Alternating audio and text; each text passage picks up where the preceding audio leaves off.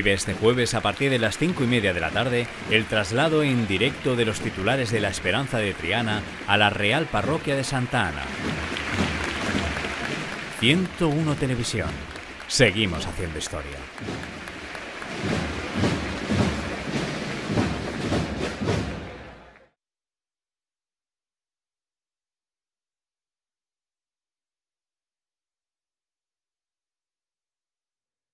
¿Qué tal? Buenas noches. Sevilla se llenó de esperanza en un fin de semana multitudinario donde se recuperaron los besamanos en la Esperanza de Triana, la Macarena, la Trinidad, la O, San Roque, San Martín y el Sol. Como siempre destacaron las colas de más de cuatro horas de espera en la Capilla de los Marineros y en la Basílica de la Esperanza Macarena. Hoy, 20 de diciembre, todo ha vuelto a la normalidad para darle la bienvenida al cielo de la Navidad. Quedan menos de 100 días para Semana Santa. Comenzamos.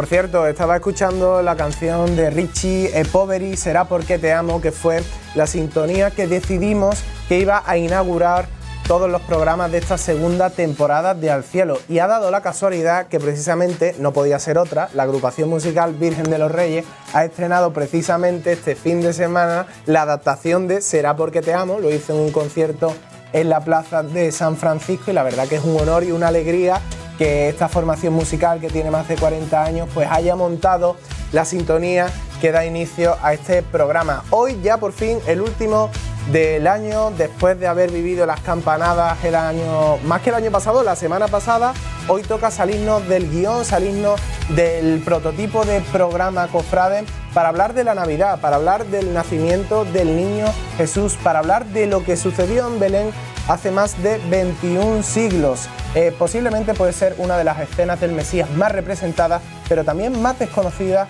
para el gran público y para ello contaremos con nuestra mesa de expertos que sigue ampliándose como esta familia de 101. Jesús Romanov, historiador del arte, ¿qué tal? Buenas noches. Buenas noches, hasta que Mónica Naranjo no nos grabe Será porque te amo, no pienso parar.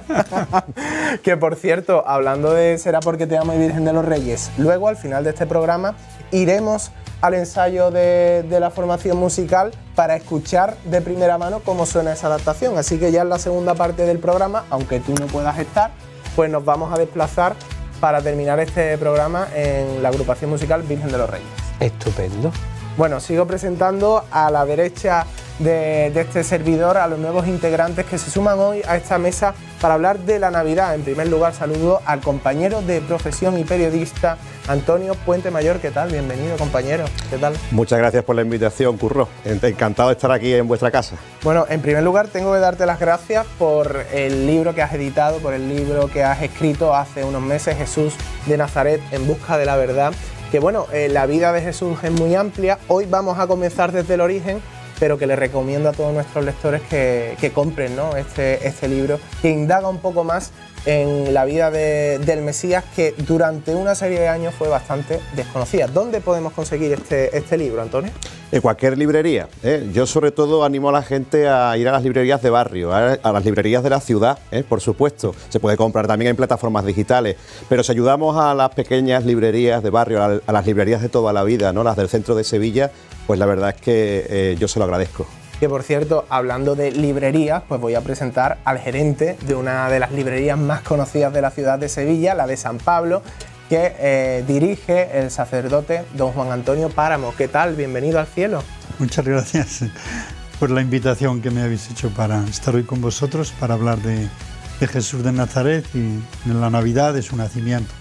Bueno, Juan Antonio, comentábamos fuera de cámara que le tengo un respeto y una admiración brutal eh, que por supuesto para mí eh, le trato de usted, pero estando en esta mesa de camilla, en esta mesa de Navidad, quiero pedirle, solicitarle que, me permita tutearle durante, durante esta mesa, para, para crear un clima de, de más cercanía. Por supuesto, hablamos, nos tuteamos todos.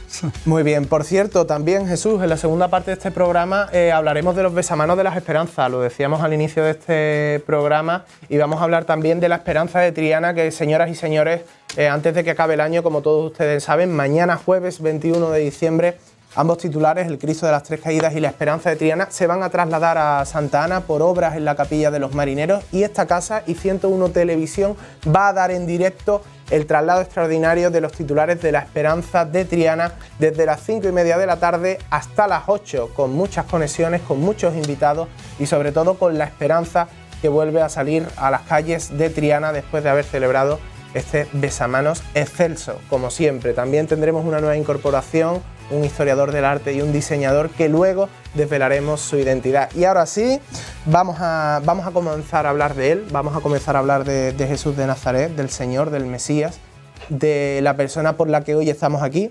Y bueno, el, el inicio es claro, ¿no? ¿Qué es la Navidad? Pues la Navidad es el recuerdo, ¿no? El que tenemos los, los cristianos, pero toda la humanidad, del nacimiento del niño Dios, del niño Jesús, que nació en Belén. Y entonces esto lo revivimos ya desde, desde siempre, ¿no? Y por eso es un momento muy, muy entrañable eh, para los creyentes y para todos los hombres, ¿no? La Navidad. Bueno, ¿y por qué Dios decide que su Hijo baje a la tierra, Jesús Romano?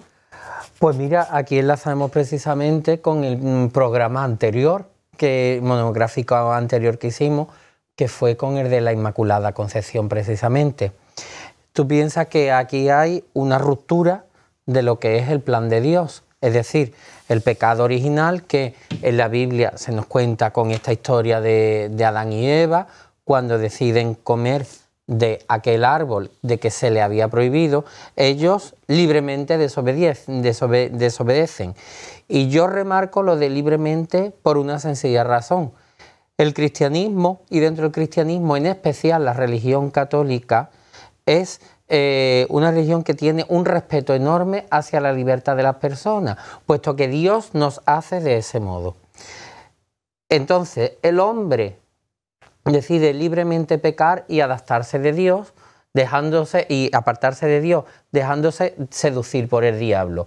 Pero Dios lo que no quiere bajo ningún concepto es que el hombre, que es su criatura, a la que ama, pero a la que ama hasta un extremo enorme, pues decide que hay que rescatarlo, que el hombre debe de ser salvado y que debe haber un nuevo Adán. Ese nuevo Adán, ¿quién es? Su hijo, el propio Cristo. Entonces, el propio Cristo, que aunque nosotros celebramos su nacimiento, volvemos a lo mismo, Cristo es Dios y como tal no tiene principio ni tiene fin, sino que siempre ha existido. En el principio existía el verbo.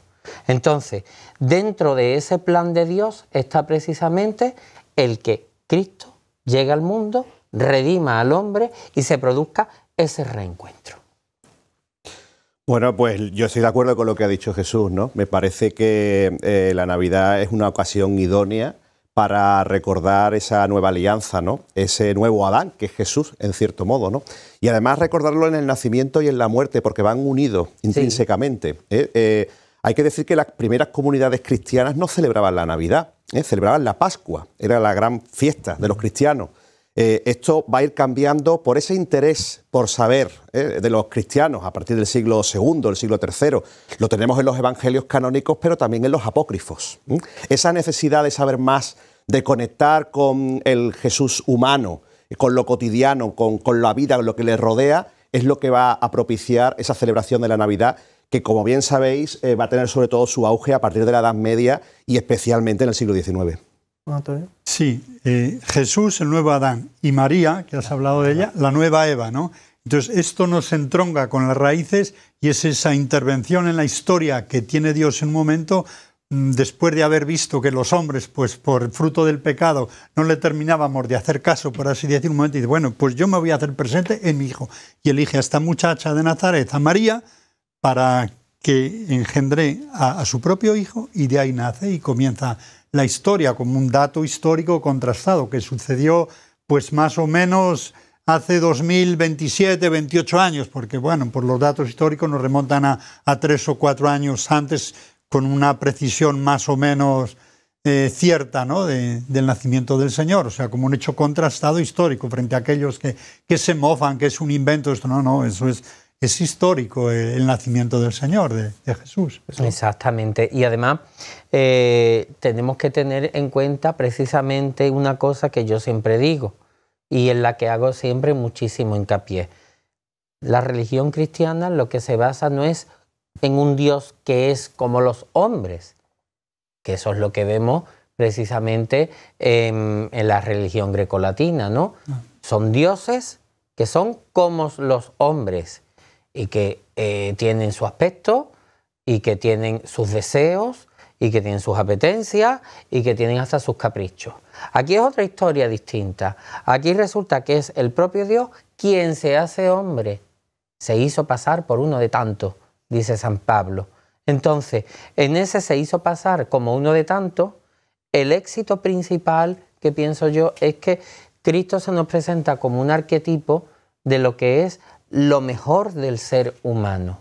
Por eso aparece alejado de todo ese tipo de historias caprichosas que vemos en la mitología, sino que Cristo actúa siempre de un modo que implica siempre un acto de ayuda y de amor hacia los demás.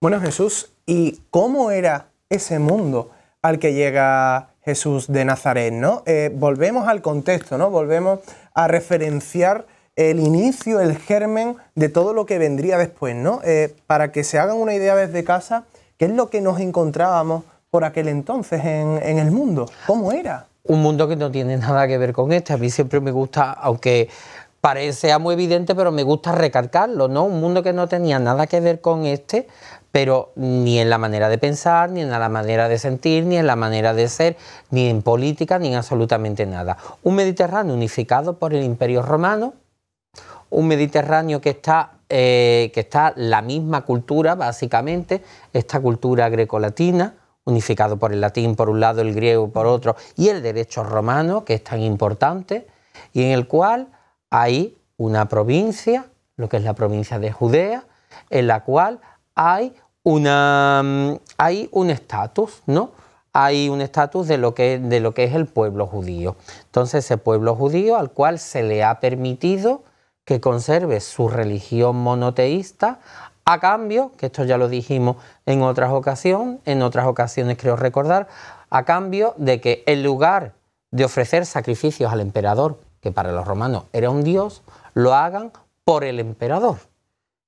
Este pueblo es el que está esperando al Mesías y es el que está esperando esa eh, nueva alianza según la antigua que ya había establecido.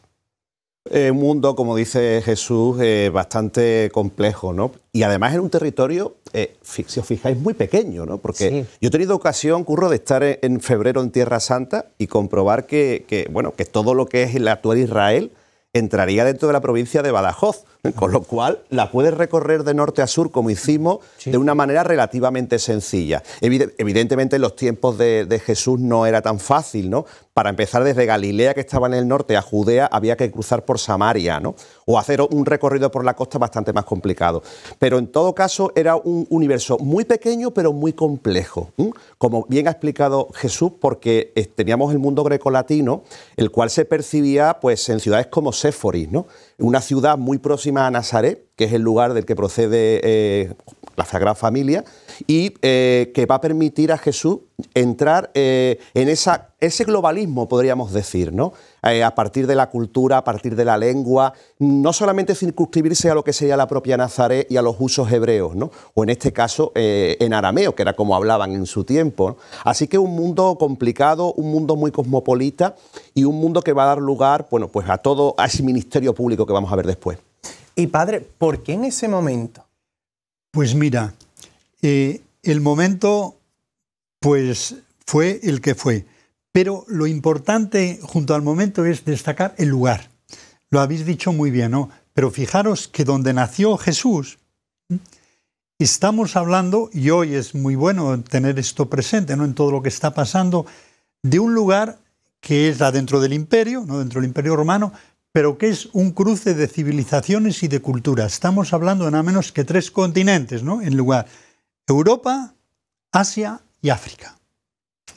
Y entonces es, el lugar es importantísimo y el momento, pues el momento que Dios había querido, según habían revelado los profetas, por los datos que tenemos, ¿verdad? Históricos, bueno, es cuando Él determinó que sucediese. Podía haber sucedido 50 años antes o 100 después. Claro. El momento fue el que Dios así lo quiso. Un tiempo, Juan Antonio, yo creo que tendente al apocalipsis, ¿no? Se hablaba mucho de esa venida del apocalipsis y del fin de los tiempos, que siempre que se han acercado determinados momentos de la historia han surgido personajes importantes. se habló antes y se ha hablado después, porque, por ejemplo, en el año 1000, bueno, ya parece que todo se acababa. Luego ha habido también momentos cuando grandes acontecimientos viene esa visión apocalíptica, que es la gente pues más así, digamos, eh, o por una parte pesimista o por otra que espera grandes vuelcos, grandes cambios, ¿no?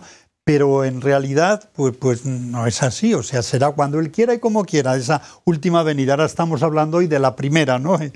su nacimiento, ¿no? Pero bueno, los creyentes eh, sabemos que Él se manifestará en plenitud al final de los tiempos. Aparte, eh, hay que tener en cuenta también la propia mentalidad judía que ellos estaban esperando un Mesías. Claro, eso es lo que te quería preguntar. ¿Había antecedentes? ¿Había avisos de que iba a llegar? Claro. ¿Sobreavisado de lo que iba a pasar? Claro, los profetas, vamos a ver. Dios establece su alianza, ¿no? Esta alianza que establece primero con Abraham, le promete al rey David que de su estirpe saldrá el Salvador y los judíos están esperando eso. Pero volvemos a lo mismo, cuando, que tratamos en el tema eh, que hablamos del proceso de Jesús. Los judíos lo que estaban esperando era más bien un líder político. Exacto. ¿Y ellos qué encuentran? Pues encuentran que son un antiguo reino, que sí, que tienen su, su rey Herodes, pero que no deja de ser un reyesuelo que está debajo del poder político de Roma. Ellos quieren esa idea de ser una gran potencia, pero claro, una gran potencia, primero ellos tenían en sus ojos primero lo que fue Egipto o lo que fue Babilonia, y ahora su idea de una gran potencia es Roma. Entonces, ¿qué pasa? Ellos esperan convertirse en algo así. Ellos esperan ser alguien así. Un pueblo que esté, pues digamos, por encima. Pero Jesús resulta que viene a otra cosa totalmente distinta. Ese podría ser, sí, eh, ese podría ser, Jurro, yo creo que el fracaso de Jesús para un sector de la, comunidad judía, ¿no? Eh, se habla del triunfo, evidentemente, de Jesús eh, después de vencer a la muerte, pero dentro del mundo judío, que por otro lado no debemos olvidar que fue el lugar donde él se desarrolló y para quienes predicó, ¿no? La universalidad de la iglesia llegará ya con Pablo de Tarso. ¿no? Exacto. Entonces, claro, eh, estamos viendo eh, que es un momento complicado, por lo que decíamos, por esas profecías, por, por ese dolor del, del, pueblo judío que había estado desterrado en Babilonia. Allí, precisamente en Babilonia, es donde se configura el Antiguo Testamento y esa nueva alianza la va a traer el Mesías, que ojo, hay que decir que, Jesús no es el primero. Para nosotros, para los cristianos, evidentemente es el único, pero en su tiempo, en, la contemporaneidad de Jesús, va a haber incluso un total de 10 falsos Mesías, ¿no? En este caso, bueno, pues tenemos uno auténtico para los cristianos, que es Jesús de Nazaret. Muchos lo confundían, pensaban que el Bautista iba a ser el Mesías, no Juan el Bautista, y por eso le preguntan, ¿eres tú? Antes se había hablado, y como bien has dicho, pues para el pueblo judío, en cierto modo, mm, Jesús fracasa, porque mm, y todavía siguen esperando ¿no? el, Mesías, que, es otro. Entonces se ha hablado antes y se ha hablado después, pero él para los cristianos es llamamos el, el único Mesías, ¿no? el Salvador, el Señor. Es más, el, eh, em, en el Evangelio de la semana pasada, cuando le mandan preguntar a Juan, le dicen, ¿eres tú el que ha de venir? ¿Eres tú el Mesías? Y después, a mí hay algo que me llama mucho la atención, es cuando le preguntan, ¿eres tú Elías? Porque el profeta Elías tenía entre ellos, eh, pues tiene una, una, cierta mística, ¿no? Que hay, que hay alrededor de él. Entonces, Juan declara muy bien que es la voz que está clamando en el desierto, pero que él no es el Mesías. Es decir, ellos están esperando. Es que en el Monte Tabor, de hecho, al hilo de lo que dice Jesús, quien se presenta es Elías. Exacto. Junto a, junto a Jesús de Nazaret en el Monte Tabor de Transfiguración, un episodio importantísimo antes del ministerio público. Bueno, y una vez hemos analizado los antecedentes previos, eh, Jesús Romanov, brevemente vamos a hablar de la anunciación, ¿no? De la encarnación del niño Jesús, ¿no? Sí, yo vuelvo a lo mismo, a lo que, hablamos en, eh, hace la semana pasada o la anterior. No confundamos lo que es la Inmaculada Concepción de la Virgen con la encarnación de Jesús. ¿Vale? Además son dos fiestas distintas, una es el 8 de diciembre y otra es el 25 de marzo. Una cosa es la Inmaculada Concepción de la Virgen y otra es la concepción de, o sea, perdón, la encarnación, de Jesús. Vamos a ver.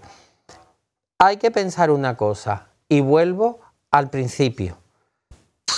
Dios quiere que su hijo sea un hombre.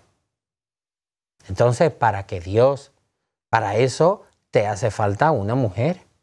Y para eso te hace falta, para tomar esa carne humana, pues tiene que tomarla de un propio ser humano. Aquí es donde entra en juego la figura de la Virgen María, de la que ya contamos, la historia de la leyenda dorada y todo esto. El caso es que la Virgen María está prometida con José. Ojo, ¿quién es José? Que esto es muy importante. Un varón de la estirpe de David. Con lo cual aquí estamos viendo cómo la escritura se cumple.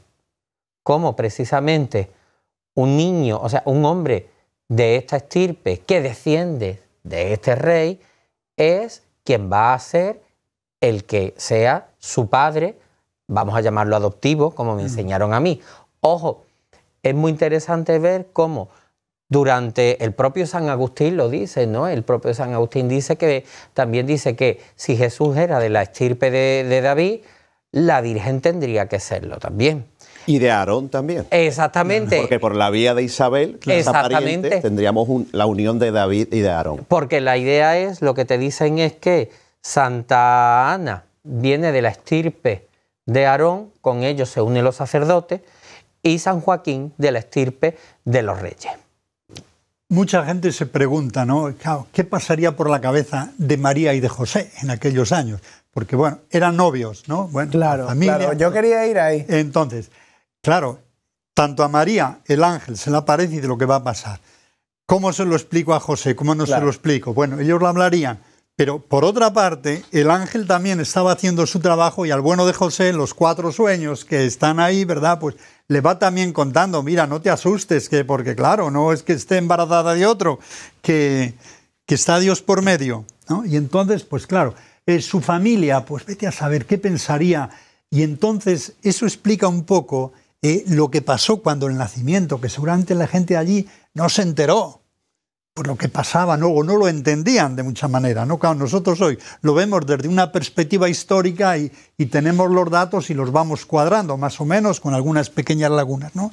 Pero entonces es, muy, muy terrible, ¿no? Y de ahí viene hasta el cabreo de, de Herodes, ¿no? Cuando se entera y todo esto, pues no, entonces, bueno, aquí hay que quitarse del medio a todos los niños pensando que ese niño, el hijo de María, pues sería el Mesías, le iba a quitar el puesto, Mesías como rey, ¿no? Y, todo esto pues viene ahí porque, claro, es, es así.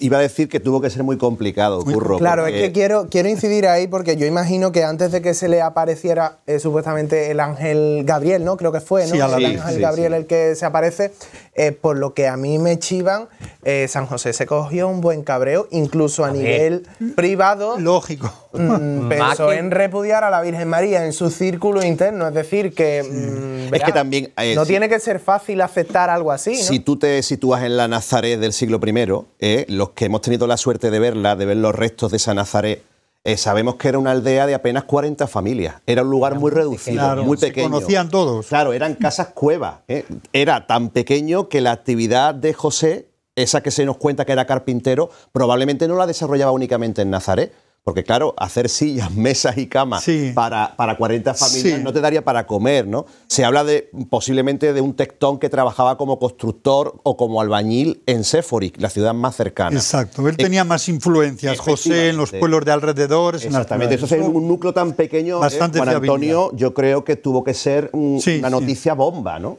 Claro, porque él además era un poquito mayor que la no tan mayor como a veces le representan como un abuelo, pero bueno, pues unos añitos más tenía, ¿no?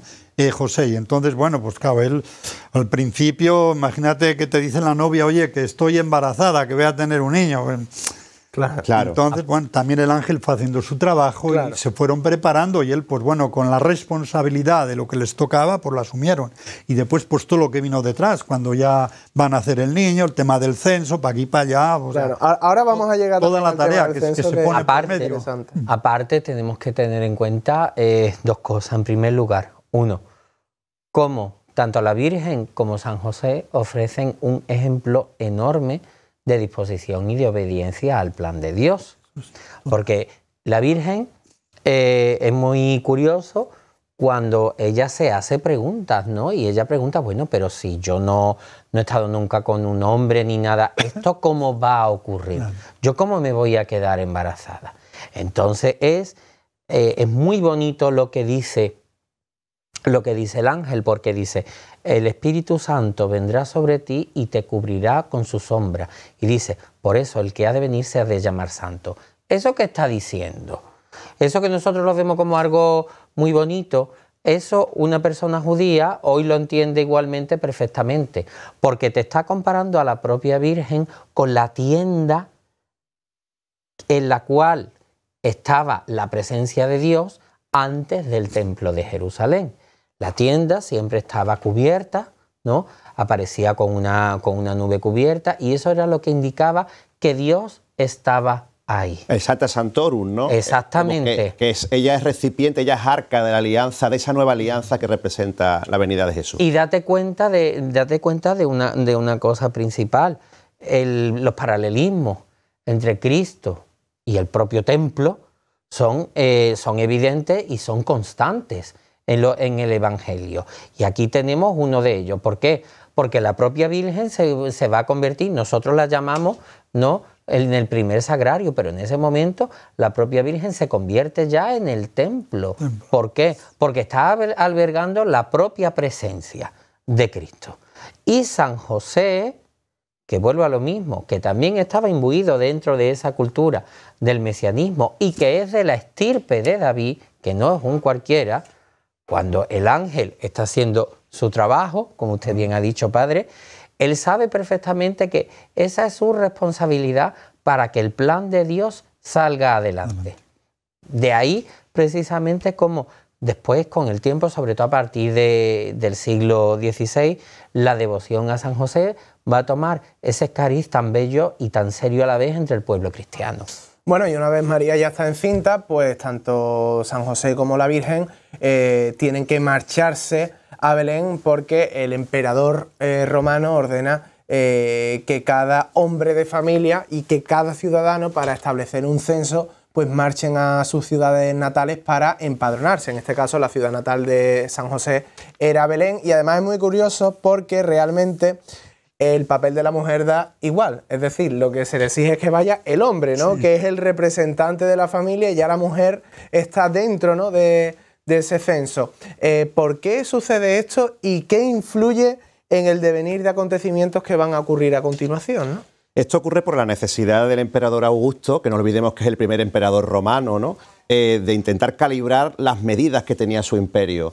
Eh, fíjate que durante muchísimo tiempo se ha llegado a, discernir sobre un empadronamiento que no tuviera lugar, ¿no? que fuera una fabulación. Yo he escuchado esta palabra. Lucas era un fabulador, ¿eh? dicho por historiadores. Sin embargo, si acudimos a los últimos estudios, como yo recojo en mi libro, eh, recientemente se ha publicado una tesis doctoral sobre el censo, o mejor dicho, los censos de Augusto, que nos dicen que no hubo uno, que hubo hasta tres. Eh, estamos hablando de, un censo en torno al año 28 a.C., luego uno en el 5 y posteriormente eh, en el 16 después de Cristo, que es cuando fallece el propio emperador. Claro, tenemos el 5 antes de Cristo. Juan Antonio comentaba antes que había ahí una serie, un baile de, años, ¿verdad? Claro, sí. En cuanto al año cero. Yo no tengo ninguna duda, Curro, ¿eh? Jesús y Juan Antonio, que Jesús nació en Belén, lo hizo en el año 5 en el año 5 de nuestra era, antes de nuestra era, y que además eh, llegó a unificar las dos versiones, la mateana y la lucana, la cual nos dice que gobernaba el emperador eh, romano Augusto, que fue bajo también eh, Cirino, gobernador de Siria, y que estaba presente el rey Herodes. Todo esto cuadra, es la cuadratura del círculo. Y nos lleva a pensar en un empadronamiento total y absolutamente real. Juan Antonio, ¿y en el lenguaje de los profetas qué significa que el Señor nazca en Belén? ¿Qué significa? ¿Qué, mensaje nos quieren enviar? Bueno, el mensaje es la tierra pues, que, había elegido el Señor para que así aconteciese. Eh, quería que fuese un lugar humilde, porque es una de las palabras que siempre ha, destacado y es y el que se destaca siempre en la Biblia, ¿no? El tema de, de, la humildad, de la sencillez, de la pobreza, de estar más cerca de los más abandonados. Y entonces hay todo eso, por eso allí eh, nacerá y los primeros que se enterarán serán los pastores, es igual a humilde y todo un poquito así. En Belén nació el rey David. El rey David, claro. Es lo mismo cuando eh, el rey David, ¿no? que le fueron allí, pues es donde estaba, del tronco de Jesé, ¿no? que, insisten también en los evangelios de la infancia, pues es, todo está en Belén y, y son descendientes. Por eso el entronque, digamos, más fuerte de Jesús mm, nos remite a David. ¿no? Que también desde niño, desde pequeño fue ungido, que podríamos decir también ungido en cuanto Mesías, por eso antes insistías en los temas de Mesías, podía haber sido otro Mesías también el rey David. ¿Y cuántas conexiones entre David y Jesús? Totalmente. Infancia, en, en todos los momentos de su vida, sí. Incluso fíjate tú qué cosa tan bella como el rey David originalmente lo que era era un pastor. Un pastor. Lo mismo que será Cristo y que se proclamará Cristo a sí mismo como el buen pastor. O sea, que te está haciendo incluso la etimología de la, de la palabra Belén, si mal no recuerdo, significa la casa del pan. Ah, Entonces, como Cristo después se hace Eucaristía y toma el pan. O sea, aquí nada, el Señor nunca deja nada suelto. Y los mismos pastores curros, fíjate que tocan una flauta, eh, que todos sabemos que las flautas se utilizaban en el mundo, de los pastores, para apacentar a las ovejas. Pero es que eh, si nos vamos al título Salmo, en el cual el libro de los Salmos aparecen muchas referencias a Jesús, por ejemplo la de los Reyes Magos, eh, es que Salmo viene del término azmor, que significa concretamente flauta de pan, ¿no? Flauta como la utilizada por los pastores un, inciso brevemente para que se ubiquen desde casa. Estamos viendo pinturas de la anunciación de la Virgen, realmente la anunciación del ángel Gabriel a la Virgen María. Estamos viendo pinturas, en este caso, de Van Eyck, del Greco, de Murillo, de Fray Angélico, que realmente puede ser la más importante para que ustedes también ubiquen mentalmente y gráficamente lo que aquí se está comentando. Eh, una pregunta, Antonio, un monosílabo. Eh, ¿A qué clase social pertenecía la familia de, Jesucristo? Es difícil definirlo, pero si hacemos caso a lo que nos cuentan sobre todo los evangelios apócrifos, eh, estamos hablando de, una familia que precisamente no era pobre, porque tenía incluso criados. Pudo haber parteras en el, parto de la Virgen María. Estamos hablando de apócrifos, con lo cual una familia que podía tener criados evidentemente no en una familia pobre. Lo que, lo que sí es cierto que el leitmotiv del nacimiento del niño Jesús eh, tiene como protagonista la humildad. Eh, me explico, tenemos el portal de Belén, que un portal es donde eh, al fin y al cabo los animales comen y beben agua. Eh, y luego los pastores, ¿no? Que ¿Por qué son los pastores los primeros en enterarse de, como yo digo, la exclusiva más importante de la historia? ¿Por qué ellos son los elegidos? Es interesante por varias cosas, ¿no? En primer lugar, uno, los pastores eran, eran personas en, en ese momento, por cierto, bastante rudas. Mi profesor Aurelio Padilla, eh, que nos daba historia antigua allí en la Universidad de Sevilla, nos decía, eh, no penséis en los pastores lo que veis en el Belén, sino pensáis en gente más bien peligrosa. Pensáis en gente más bien... Eran impuros, de hecho se consideraban impuros. Exactamente, y eran impuros además, porque andaban con animales. Entonces, ¿qué te está diciendo Cristo?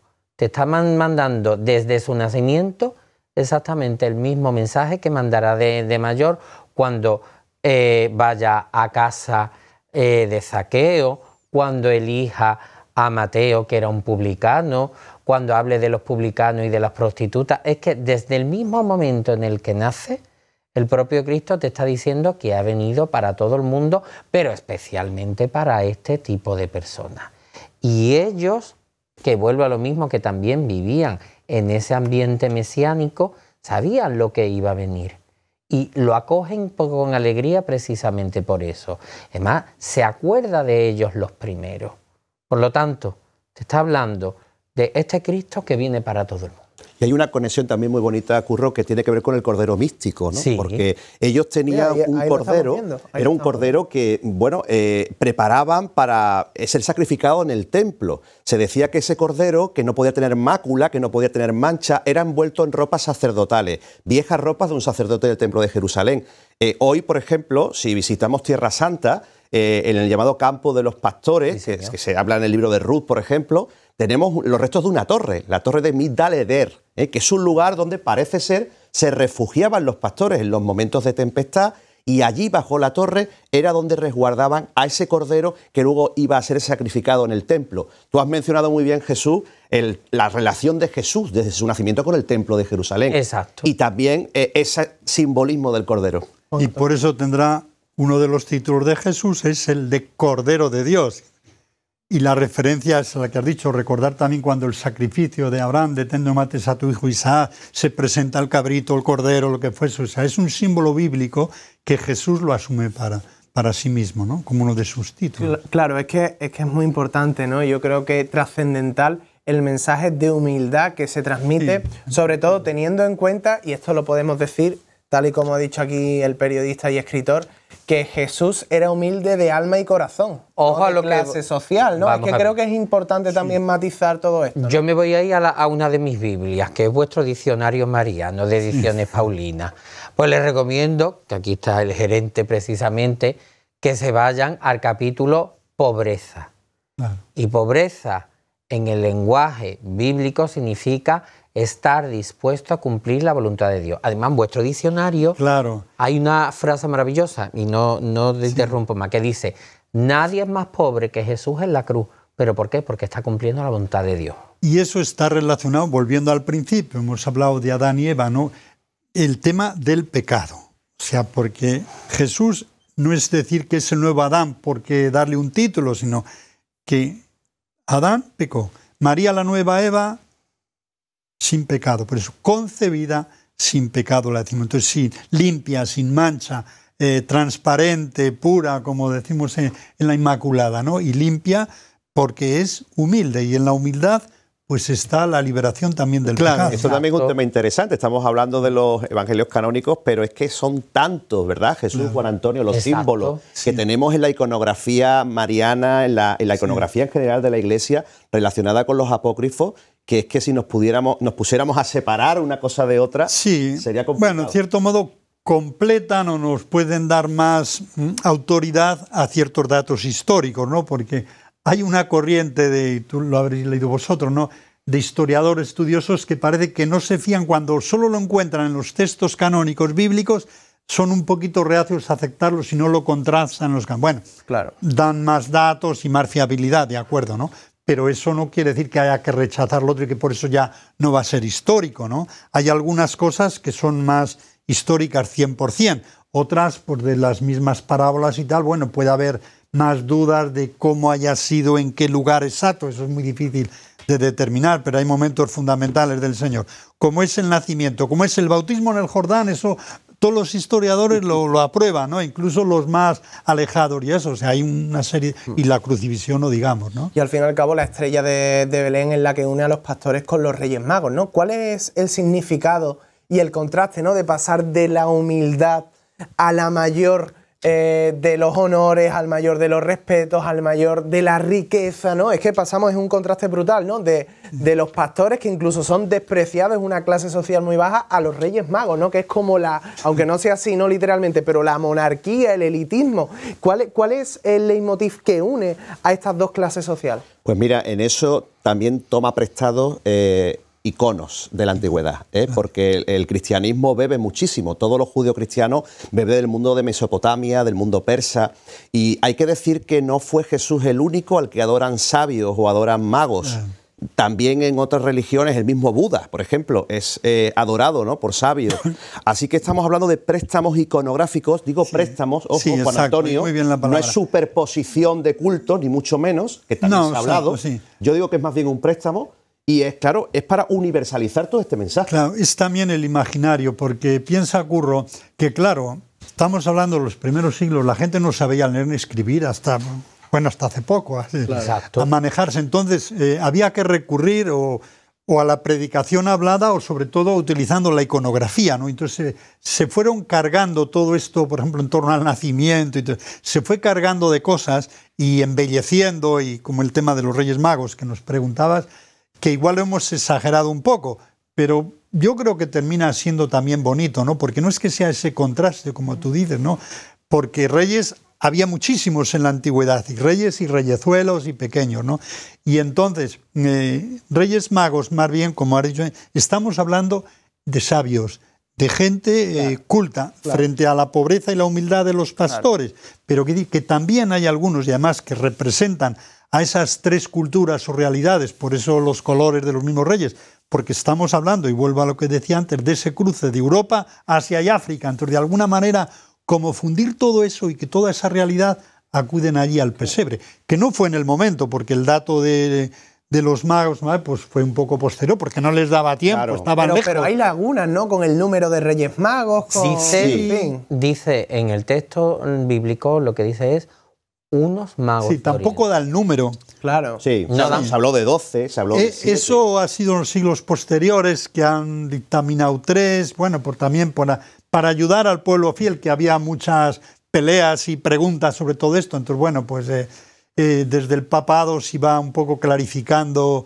ciertas cosas, ¿no? Pero eso tampoco es tan importante. Efectivamente, son pequeños detalles, pero, pero, al mismo tiempo también es muy bonita la simbología, porque las tres edades del hombre, por ejemplo... la simbología, creo que me parece fundamental. El, venerable Veda eh, relaciona a Melchor con la vejez, a Gaspar con, con, la madurez y la juventud sería Baltasar, ¿no? Totalmente. Tenemos también a Orígenes de Alejandría, ¿no? Que es el que decide que son tres. Tenemos a Tertuliano, eh, que le otorga coronas, porque las primeras representaciones de los reyes, eh, como sabe Juan Antonio, son eh, persas, ¿no? Son de claro, oriental. Que por eso precisamente la, basílica de, la Natividad sobrevivió, porque cuando llegan, llegan allí los musulmanes y ven la representación de, de los Reyes Magos vestida a la persa, pues lo interpretaron como algo que era suyo y lo respetaron. Por eso es la única basílica paleocristiana que queda allí.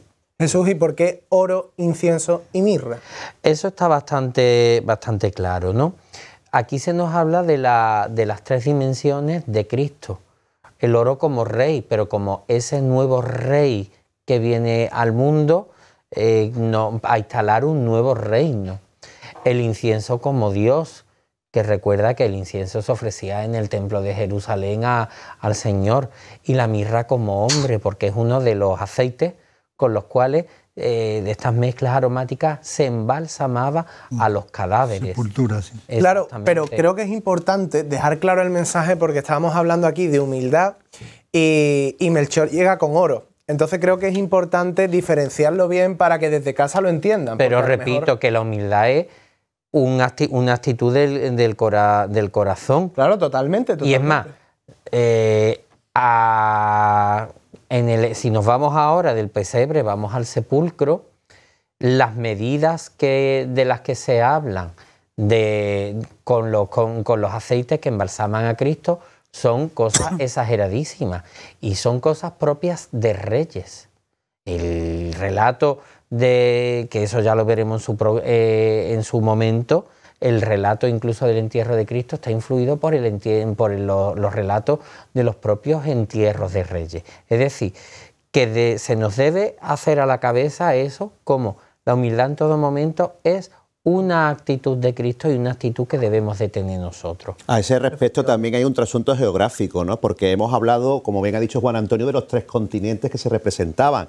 Eh, en el libro de los Salmos se menciona a Tarsis, se menciona a Saba y Arabia. Eh, tres productos que tú muy bien has nombrado, eh, Jesús. Eh, Tarsis concretamente se relaciona con los metales preciosos, con el oro y la plata, que podría identificar a Melchor. La, ruta del incienso. La ruta, efectivamente, que, tenemos también a partir de Arabia y luego África, ¿no? esa mirra de color negro. en fin, todo esto tiene una carga simbólica tan importante que nunca podemos dejar de lado, que remite, como decía antes, a, a otras religiones, a otros cultos muchísimo más antiguos de los cuales va a beber el pueblo judío eh, prácticamente desde el destierro de Babilonia e incluso desde el cautiverio de Egipto. Y otro de los actos que quiero remarcar es la, matanza de los niños inocentes, una orden que da el rey Herodes I el Grande, que cierra ¿no? este capítulo del nacimiento del niño Jesús, que termina con esa huida a Egipto también eh, se duda si ese acto se llegó a cometer o no. Mm. Eh, y bueno, todo, todo se produce porque una vez los pastores ¿no? van a adorar al niño, esa noticia corre como la pólvora. Hay muchas similitudes con, una noticia periodística si sucediera ahora, ¿no? Yo me lo pregunto cómo, cómo sería aquello. Entonces, eh, aquel rumor corre como la pólvora y llega a Herodes que es un narcisista, es un ególatra, es un hipócrita. Estoy seguro que ahora mismo en casa están haciendo similitudes con alguien que conocemos todos nosotros. En fin, un gobernador eh, que tenía muchos celos y claro, eh, de forma irónica quería conocer al rey, al verdadero rey que le prometían los pastores, llama a los reyes magos, los reyes magos le engañan y una vez él se da cuenta de que los reyes magos le han engañado, pues ordena matar aniquilar a todos los niños que tengan menos de dos años, ¿verdad? Eh, ¿Qué simbología oculta esta orden que me parece em, de las decisiones más crueles, ¿no? Que ni he visto yo decisiones así en guerras. Eh, internacionales y mundiales, ¿no? Algo terrible que reitero, ¿no? Que se duda de si llegó a pasar. En primer lugar, tenemos que volver atrás, otra vez. Hemos hablado del paralelismo de Jesús con David, pero también tenemos que hablar del paralelismo de, Jesús con Moisés. Recuerda que Moisés precisamente también se salva de una matanza de ese tipo. Claro. en las aguas del Nilo. Exactamente. Es eh, precisamente el faraón emite ese edicto. En la película El Príncipe de Egipto se ve muy bonito, la verdad. Y entonces eh, el faraón lo hace para que no haya esa reproducción tan grande de esclavos.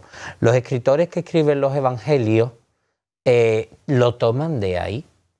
De hecho, yo creo que un acto como ese, tan, eh, tan fuerte, nos hubiera llegado algún tipo de noticia. y no está solo en los evangelios, lo de Herodes está también en otra literatura como aceptado. Y hay una frase que puede declarar, que no está en los evangelios obviamente, porque es muy fuerte, pero que dice, que en la casa de Herodes se protegía más al cerdo que al niño. Con esto. Pero eso nos hace ver también. Bastante, ¿no? Por la matanza. Sí, sí, sí, sí. Y parece ser que esta orden sí que la dio y la cumplió, empezando por su familia. O sea, todo el entorno de Palacio y eso era tanta. Los ¿Sí celos. cumplió finalmente? La envidia, sí, sí. Sí, yo no tengo duda. La envidia que tenía contra este supuesto Mesías que hizo por esa orden, calculando cuándo hubiese nacido y tal, menores de dos años. O sea, no es una leyenda. Que fuesen 10, 20, 40, eso es muy difícil de determinar.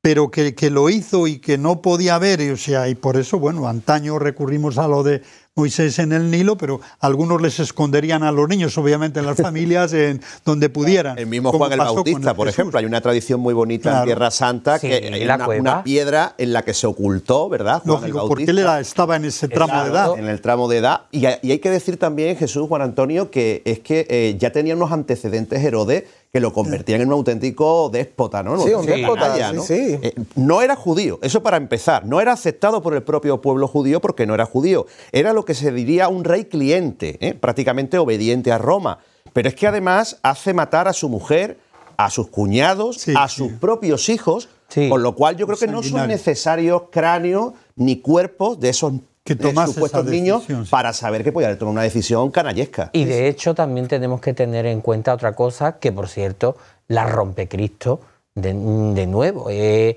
eh, eh, él es nuevo para muchas cosas y para romper muchos atavismos antiguos. La vida humana no tenía ningún tipo de valor en ese mundo. Claro. Y mucho menos los niños. Y las niñas menos todavía. Bueno, exactamente. tú piensas una cosa, los famosos niños expósitos en Roma, cuando un niño no, no era deseado por, un, por una familia, pues los niños quedaban unos puestos, unos días expuestos. Eh, te hablo de niños recién nacidos, ¿eh? los niños quedaban unos días expuestos en la calle y si no les llevaban a nadie, se lo terminaban comiendo las bestias. O sea que eh, si la vida humana no tenía ningún tipo, recuerda lo que era la definición de esclavo, cosa que habla. Y recuerda que la muerte de un esclavo por parte de su amo, el derecho romano lo contemplaba como una simple destrucción de propiedades, como si tú tienes una casa y la tiras y haces una nueva. O sea, la vida humana no tenía ningún tipo de, dignidad.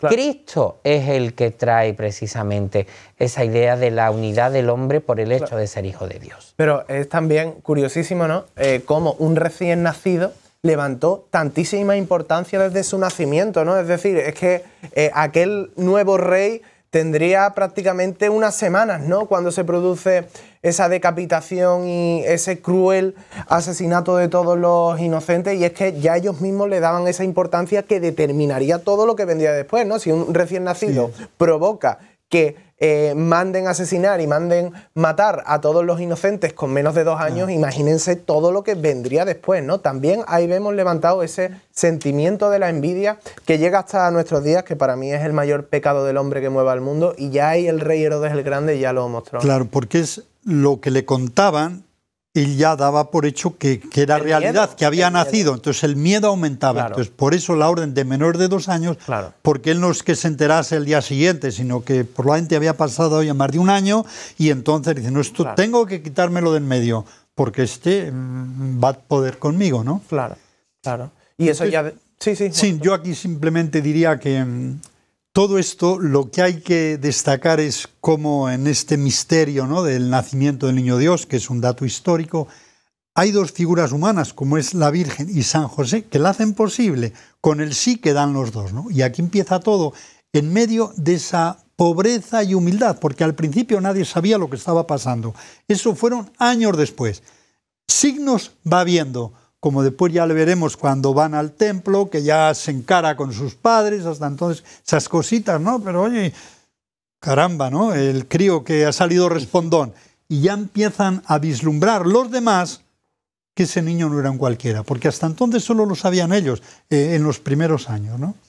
Y eso determina, Antonio, ya para, para, cerrar este capítulo del nacimiento, pues que un mensajero de Dios pues, se le aparezca en sueños a San José, le avise de lo que va a suceder y eso ya es lo que determina la, feliz huida a Egipto. Sí, sí, una ruta de exilio bastante compleja eh, que yo intento abordar en mi estudio eh, porque claro, eh, viajar en aquella época ya de por sí era un peligro, ¿no? Se, iba en caravanas.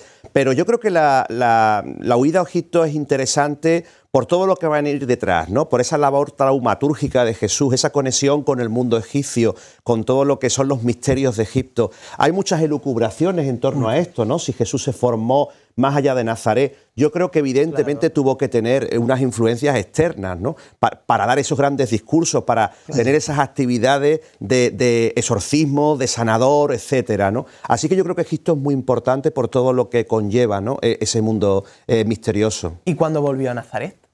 Probablemente en torno a los dos años. ¿eh? Se habla de una estancia, los evangelios apócrifos calculan unos dos años de Dos estancia. años, sí. O, o eso al menos nos dice la iglesia copta, ¿no? que es la, la tradición que se conserva en el, en el Cairo. Pero una vez el rey Herodes ya fue condenado, ¿no?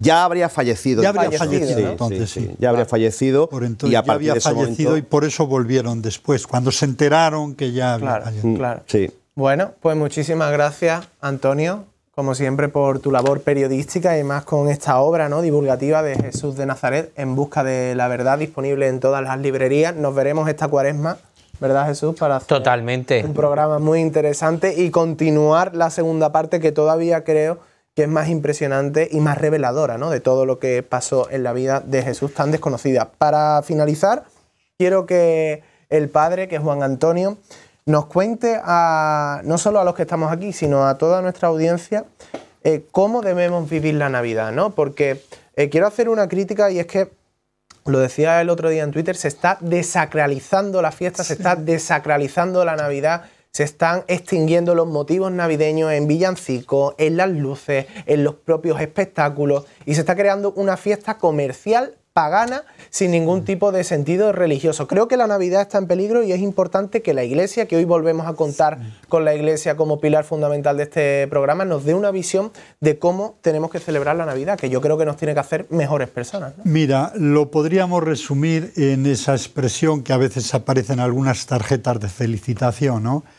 Que Navidad es cualquier día del año en que un hombre se acerca a otro hombre para llamarlo hermano y tratarlo como hermano. Eso sería lo más bonito. ¿no?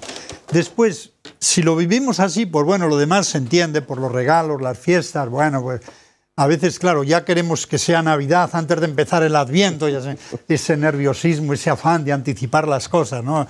Ya antes de empezar el Adviento, hace dos semanas, ya había ya Navidad, no, ahora estamos en Adviento, estamos preparando el camino. Hay que prepararse para la Navidad, para vivirla con paz, con alegría, con los amigos, con los conocidos, eh, viviendo la fraternidad, porque al final, pues de lo que se trata es de de celebrar lo que Jesús, ese niño que nace, no- nos va a pedir y nos pide ya, porque no sabemos la historia de que tenemos que ser buena gente, no buenas personas, como él intentó ser y como él lo predicó y por eso lo mataron, porque, bueno, pues se cargaron de envidia y de celos contra él y querían quitarse del medio porque lo incomodaba. Pero pues nosotros tenemos que, que intentar y esforzarnos por, por vivir ese mensaje de amor y de paz que nos, que nos transmite Navidad.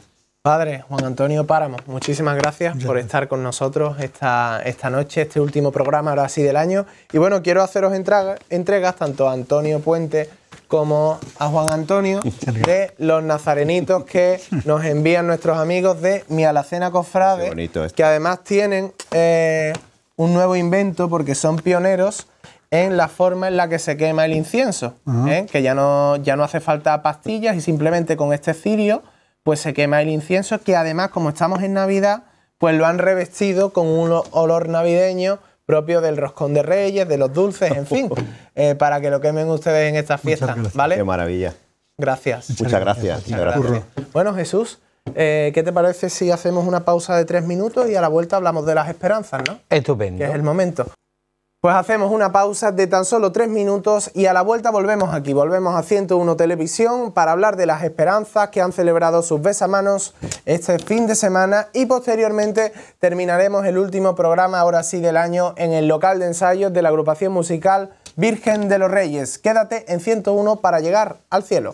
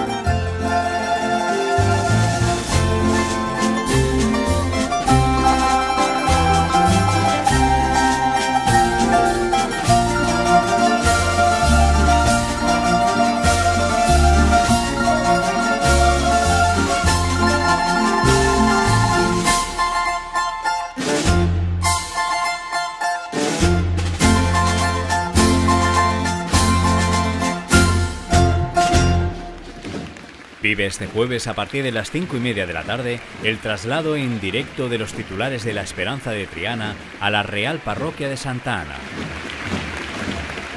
101 Televisión. Seguimos haciendo historia.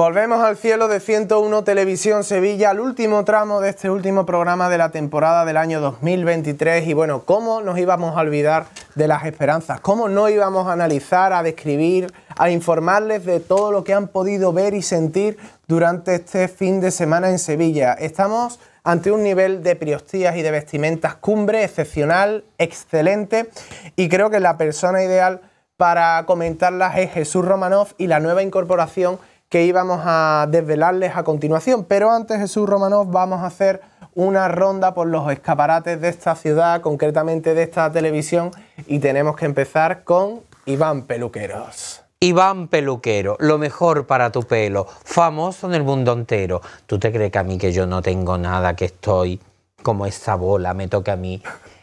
Me toque a mí, eh, pone a este hombre, bueno, pues bueno, perfecto. Bueno, para perfilarte la barba, por ejemplo. Para perfilar tu barba, Iván Peluquero. Lo mejor del mundo entero. Ahora, GRC Abogados. Bueno, es muy importante, más de 25 años en el. Especialista en herencia, divorcio, accidente, mm, muertes, pues todo este tipo de cosas, GRC Abogados. ¿Qué ejemplo práctico, Jesús Romano, podríamos poner de GRC Abogados? Para, Yo no quiero poner ninguno, por para, para divulgar, para divulgar a, nuestra audiencia, para enseñarle a nuestra audiencia cuándo tendrían que asistir a. Pues lo que te he dicho, si mm, no sé, cuando te divorcies y no sepas y, y no sepas cómo repartirte con tu marido los bienes gananciales para no acabar para no acabar que te tenga que arreglar y van peluquero porque te estés tirando de los pelos, tendrías que ir a GRC Abogado. Y por, cierto, a donde tú fuiste este fin de semana fue a Matacandela, ¿no? A tu taberna Cofrade en Sevilla. Eh, sí, mira, chicharrones, gin tonics, lo pasamos estupendamente, estuvimos muy bien y la verdad es que muy recomendable para estas fiestas navideñas. Muy bien, Jesús Romanov, muchas gracias. Y ahora sí, vamos a presentar a Antonio Castro, diseñador e historiador del arte que bueno, que se une a esta mesa de análisis para informarles y sobre todo para divulgar eh, todo lo que ha sucedido este fin de semana en la ciudad de Sevilla. ¿Qué tal, Antonio? Bienvenido al cielo. Buenas tardes, encantado. Muchas gracias por invitarme. Y pues nada, a ello un ratito. Exacto. Bueno, que quería comentar, Jesús, que este jueves, Jesús y Antonio, que también es hermano de la Esperanza de Triana, que este jueves damos en directo el traslado de los titulares de, la Hermandad Trianera a la parroquia de Santa Ana por las obras que se van a cometer en la Capilla de los Marineros, desde las cinco y media de la tarde hasta las 8, con invitados, con puntos en directo, con la retransmisión de comentaristas no solo de este equipo, sino de invitados expertos en las obras que se van a cometer y una retransmisión que van a poder seguir todos ustedes en nuestro canal de YouTube y en la TDT, en el número 43. Y ahora, si les parece, pues vamos a repasar ¿no? esta jornada de besamanos con el de la Esperanza Macarena que van a ver a continuación en pantalla, ¿verdad, Jesús Romanov? Pues la verdad es que eh, vamos a empezar, me ha gustado muchísimo el montaje. Eh, recuperando, bueno, ya hacía tiempo que, tenía la, que se habían recuperado las escaleras. Me ha parecido bastante interesante la inclusión de, elementos en el mobiliario como eh, las dos columnas, ¿no? Eh, con esas dos jarras que arriba tienen, pues eran como, como unos candelabros, ¿no? Los ángeles de Ortega Bru, que tienen como referencia los de la Sacramental de Santa Ana, el, pabellón el pabellón real con el dosel que hay que hacer. Sí que es verdad que yo, después de ver el resultado eh, de lo que es todos estos días de colas, a lo mejor habría que pensarse en ampliar el besamano eh, de la Macarena quizás incluso a una semana, porque estas colas que hemos tenido de, de dos y tres horas, pues sería, ya se amplió a dos horas más de siete a nueve para los hermanos, de 7 de la mañana a 9. Y sería interesante a lo mejor empezar a ponerlo más días. Y la verdad es que, ya te digo, la Virgen... A mí ese conjunto especialmente me gusta muchísimo, muchísimo eh, como, como, lo luce. El manto de tisú que también le sienta, por cierto, que también le sienta el sueño de Juan Manuel, la Virgen con una riqueza, eh, esta toca que estrenó con motivo del 25 aniversario de la coronación, así como la saya, si no me equivoco, que es del 50 aniversario. Y bueno, me gustó, me gustó muchísimo, me gustó todos los detalles, lo justo, nada de poner cacharro por ponerlo y poco más, Antonio, ¿te gustó a ti, imagino? A mí me gustó, me gustó mucho, además a mí me gusta el besamano de la Macarena, en los últimos años también se caracteriza por la inclusión de ciertos elementos que, a mí me encantan, como son las decoraciones de, las plantas, ¿no? esas decoraciones vegetales que, que quizás se unen lo popular con el, tema de un dosel al modo regio, con una decoración más popular como son las plantas. Y además, como tú dices, la Virgen estaba espectacular con el manto de tisú, que para mi gusto es el que mejor le sienta. Sí, por madera de malla, fíjate tú. Es el más macareno, desde luego. A mí me gusta, se dice que cada uno tiene una cualidad. Sí. Bueno, eh, yo también quería ensalzar eh, la labor de su vestidor de Lozano, que particularmente en los días grandes, como son el besamanos y en la madrugada, se crece bastante, se crece bastante y presenta una imagen eh, bueno, como lo que es ella, ¿no? Como, como la Virgen de la Esperanza Macarena. Estábamos viendo también ese dosel que estrenaron el año pasado, ejecutado por José Librero, y yo eh, veo una importantísima diferencia entre el primer mandato de Cabrero, que fue una priostía y unos montajes mucho más austeros, con estos, ¿no? Donde se vuelve a mantener ese pabellón real, ese trono real, que realmente es el significado de un besamano, ¿no, Antonio? Efectivamente, yo creo que la priostía se ha crecido mucho y en este sentido se ha conseguido pues recrea a la perfección un, salón del trono. Es que aparte tenemos que pensar una cosa, eh, la Macarena siempre ha sido maximalismo, no minimalismo. Si tú ves esa fotografía de los besamanos en la Anunciación, en San Gil, en la propia Basílica, siempre ha habido muchísimo maximalismo en este aspecto, ¿no? Bueno, lo que diseña el propio Juan Manuel para, para la Virgen es esto, y más es más en este aspecto, ojo, siempre que esté bien puesto por eso yo he hablado de elementos buenos y bien dispuestos en este caso. Claro, y el juego que te puede dar una basílica, ¿no? A diferencia de, por ejemplo, la capilla de los marineros, es que con una basílica como esta es que puedes hacer lo que quieras. Eso es lo que dice mi amiga Osario Soler, una, artista de la noche sevillana, que siempre me lo dice. Además, ha comentado Jesús ante el tema de, ampliar los besamanos por la cantidad de gente que hay, y este año lo hemos notado especialmente en la calle Pureza, por la restricción de espacio que tenemos con la, con la obra que están acometiendo en la capilla y se, ha notado, se ha notado especialmente por el volumen de gente que, ha habido, que yo he visto más que nunca. yo pienso que las dos esperanzas tendrían que planteárselo, el ampliar a, a unos días más, puesto que no que ya no hay, como te digo yo, ya no, no basta con los cuatro días, ¿no? Además, también quiero resaltar, Jesús, el hecho de que vuelva el besamanos no solo a la Macarena, sino también a la Esperanza de Triana, después de que el año pasado todavía fuera veneración, y creo que era un gesto que había que recuperar sí o sí. Y ahora estamos viendo ahí a la Esperanza Trinidad, magníficamente vestida por su vestidor, por Joaquín Gómez, con una lona eh, de un cuadro de Murillo y bueno, que también sobre todo hay que destacar la vestimenta de la imagen que se nos vuelve a presentar de una forma excelsa, ¿no? Bueno, la esperanza de la Trinidad puede que sea una de las vírgenes mejor vestidas de, España. Diría yo, ¿eh? y con diferencia. Yo destaco este año el estreno de la, la, toca, que es obra, lo tengo aquí apuntado, de Ramón Villarreal, un hermano que la ha regalado, con diseño de, de Alfonso Aguilar, y que la verdad es que, fíjate, la principal virtud que tiene este tipo de toca es que le caen a las vírgenes como una mantilla, ¿no? Claro. las tocas tienen que ser de ese modo. Yo por eso siempre digo que la mejor toca que hay en la ciudad es la de la Virgen del Socorro, porque tiene, yo eso se lo dije un día a un, amigo mío diseñador que estaba diseñando una toca y cogí un papel de, una servilleta y le dije, este tiene que ser el grosor de la toca y no otro. Pues ese es el, grosor que tiene esa. Y fijaros cómo, al ser una malla, es translúcida. Nosotros vemos lo que hay ahí detrás. Sinceramente, la Virgen está imponente, esa es la palabra. Está preciosa, está divina.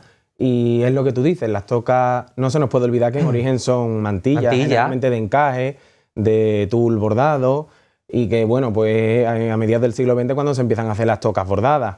Y en ese sentido, pues en los últimos años se han recuperado muchas de estas tocas más ligeras, más translúcidas, que a las vírgenes le quedan estupendamente. La esperanza, por lo visto, vamos, está preciosa vestida y, además le, realza sobremanera esos tonos dorados que lleva. Y esa disposición del pollero también, ancha, a mí me encantan las vírgenes anchas, ¿no? Y en esta, en esta ocasión es que está dispuesta de forma sublime, ¿no? Por Joaquín, que decíamos la semana pasada que para nosotros había sido el vestidor del año. para mí, desde luego, hombre, habiendo, yo siempre digo lo mismo, ¿no? Eh, Sevilla es madre y maestra en el, en el arte de vestir a la Virgen, nos guste o no. Y habiendo unos magníficos vestidores, pero magníficos, ¿no? Podemos hablar de, de Grande de León, podemos hablar de Pepe Aguilar, podemos hablar de Javier Hernández Luca, podemos hablar de... De Francisco Valverde Camacho, que es el vestidor de la Virgen de la O. bueno, lo de la O este año es eterno. principalmente ha sido la recuperación del terno. Sí. Esto ha sido una, una batalla de, de, este, de este hermano mayor y de, y de sus priostes los chicos de la Etare Arte Sacro que me gustan a mí tanto, las cositas que hace. Y Alejandra Puelle, un saludo. Y Alejandra, Puelle, también. Bueno, pues María, toda, toda esta, como yo digo, toda, toda esta tribu de la, de la Hermandad de la O, de este grupo, eh, en el cual a mí me tienen invitado y recogido, y que da gusto cómo está la Virgen vestida. Lo que ha hecho el taller de Carla Elena con este eterno, porque mm. en el antes la verdad es que se encontraba en un estado que era que lo mejor que hizo la hermandad es dejar de usarlo, guardarlo en condiciones y afortunadamente mira cómo lo vemos. Además, un pasado y restauración magníficamente bien hecho. Como tú dices, que, que está perfectamente ejecutado y además me parece a mí que la importancia de, de la recuperación de este terno también reside en la Mm, en, remover conciencias, ¿no? Porque al final los bordados sabemos que proceden de la túnica antigua del nazareno. Sí. Me parece a mí que viendo este resultado mm, mm. tendrá que caer antes o después, cosa que sería una recuperación de justicia para la Semana Santa de Sevilla. Aparte, a mí una de las virtudes que tiene Paco, el vestidor de, de la Virgen de Lao, es que sabe muy bien adaptarse a la medida de la imagen. es decir, las anchuras mm. le sientan muy bien a la, Virgen de la O. No se nos olvide que es una dolorosa del siglo XX, una dolorosa castiza, y lo mismo que a la esperanza de la Trinidad o a la propia Macarena, al ser vírgenes tan sumamente antiguas, les puedes poner una estrechez que le van sin embargo, en el caso de la Virgen de la O, la Virgen se crece de un modo espectacular, como es propio, por cierto, de, las imágenes de Antonio Castillo Lastruzzi. Y ese color púrpura, ese color corporativo que también me parece un acierto, un acierto que se haya ejecutado. También no estamos viendo ahora mismo eh, un plano general de este besamanos, más bien estamos viendo imágenes de estudio de Fran Santiago, que también quería ensalzar no solo a Fran, sino a todos los grandes fotógrafos como Manuel Gómez, como Fran Santiago, como Tomás Quife o como Emilio Sáenz, que han hecho posible este tipo de imágenes, ¿no? Que yo creo que al fin y al cabo es un conjunto de todo. Fíjate. El resultado final es muy importante que también esté respaldado por una buena fotografía, por un buen encuadre, por una buena iluminación. Y es que en este caso hay que entregar la cuchara, al igual como decía con el pabellón real, que parece que está de moda, ¿no? Porque la Hermandad de la O también ha levantado una especie de pabellón real en este altar de Besamano, ¿no? Exactamente, y además también lo ha, lo ha completado iconográficamente con una serie de cuadros. Sabemos que el presbiterio ha estado cubierto por unas cortinas y lo ha cubierto con unas pinturas alusivas que a mí me ha gustado especialmente a San Fernando y a San Millán, que en tiempos de San Fernando fue patrón de la corona de Castilla y que, como sabéis, este año pues, ha cumplido el 775 aniversario de la reconquista de Sevilla y se ha querido hacer ese guiño que a mí me ha gustado mucho. Jesús, ¿terminas? Pues la verdad es que eso, hay que felicitar a la, hermandad por tantos aciertos, por tantas cosas como, como está haciendo bien hechas. Están ahora mismo eh, en, una, en una racha bastante buena y que bueno, esperemos que se vea pronto completado pues con la, terminación o la recuperación de la túnica. Y aquí tenemos a la Virgen de Gracia y Esperanza de San Roque, vestida por Grande de León. Pues precisamente a Grande su apellido le viene muy bien porque es otro de los grandes vestidores, también otro de los grandes vestidores a nivel nacional, a nivel nacional, y lo digo sin ningún empacho, eh, de, esta ciudad. Además, José Antonio Grande, una de, las una de las virtudes que tiene con esta dolorosa es lo bien que se ha sabido adaptar a ella. No ha perdido su silueta, en ningún momento, esa silueta inconfundible de la Virgen de Gracia Esperanza, ese tocado con esa frente de risitos, como decía, sí, el que fuera realmente, exactamente su el que fuera su propio vestidor Paco Morillo. Fíjate, por ejemplo, el tocado tan recogido y tan bello y tan bello que tiene, y la verdad es que la pone exquisita. Hay que entender también que es una imagen muy fina, de unas proporciones muy pequeñas que tiene pues esa delicadeza y se la ha sabido completar con las proporciones. Me llama la atención especialmente la proporción tan bonita que tiene el pollero con el manto puesto de esa forma tan natural y evidentemente pues el tocado que parece que no pasan los años. Hombre, y aparte eh, es lo que yo digo, está exquisita. Bueno, y ahí tenemos la esperanza de Triana, que ¿Qué vamos a decir de la Esperanza Triana? Que está imponente. Yo siempre digo que es que está imponente. bueno, hombre, yo creo que eh, obviando ¿no? el carácter subjetivo que podemos tener en esta mesa, hay muchas cositas que analizar, ¿no? Volvemos al clásico refregador que le ha impuesto de nuevo su vestidor, ¿no? Javier Hernández Lucas con las proporciones perfectas, ese manto de los dragones, de nuevo, eh, ese dosel que cae del cielo eh, concretamente cedido por la Hermandad de la Palma de, Cádiz. Hay que tener en cuenta que la capilla está en obras, que está en un 50% de su aforo y aún así la Priostía creo que ha hecho un altar de los mejores de los últimos años, ¿verdad? Efectivamente. Yo creo que el nivel que se ha alcanzado este año y más con la restricción que había con el espacio eh, ha sido espectacular y además que es que la Virgen estaba soberbia, soberbia porque parecía una estampa de los años 50 totalmente y además con el ajuar clásico, su toca de las Martín Cruz, su saya también de las Martín Cruz y su manto de los dragones, que, es la estampa clásica de la esperanza. Además muy bien enjollada, por cierto. Y esto es difícil de hacer, ¿eh? porque vuelvo a lo mismo, que en un besamano esté lo justo, que eso justo esté bien puesto y que sean piezas de calidad, eso eh, para eso hay que tener una buena cabeza. Para eso hay que tener una, una buena cabeza tiene que haber alguien en condiciones, ahí está la cabeza, por ejemplo, de nuestro querido amigo Ignacio Sánchez Rico, que en muchos aspectos es el alma mater de, de, estos cambios artísticos que ha tenido la Hermandad de la Esperanza Triana, y es que da gloria ir en cualquier día del año, ¿eh? Esto no es solo hoy, estos días del besamano, que estos días del besamano sea estupendo, pero en cualquier momento del año está la capilla impoluta, están las flores perfectas. Además, apostando, como yo siempre digo, por el detalle. Apostando por el detalle, por ejemplo, la recuperación de los robanovios, la recuperación de los esmeraldones, de todas esas cosas. Las lámparas araña que cuelgan. De... Las lámparas. Las lámparas. es un clásico de, de los besámanos de la esperanza, se recuperaron y desde luego ya llegaron para quedarse.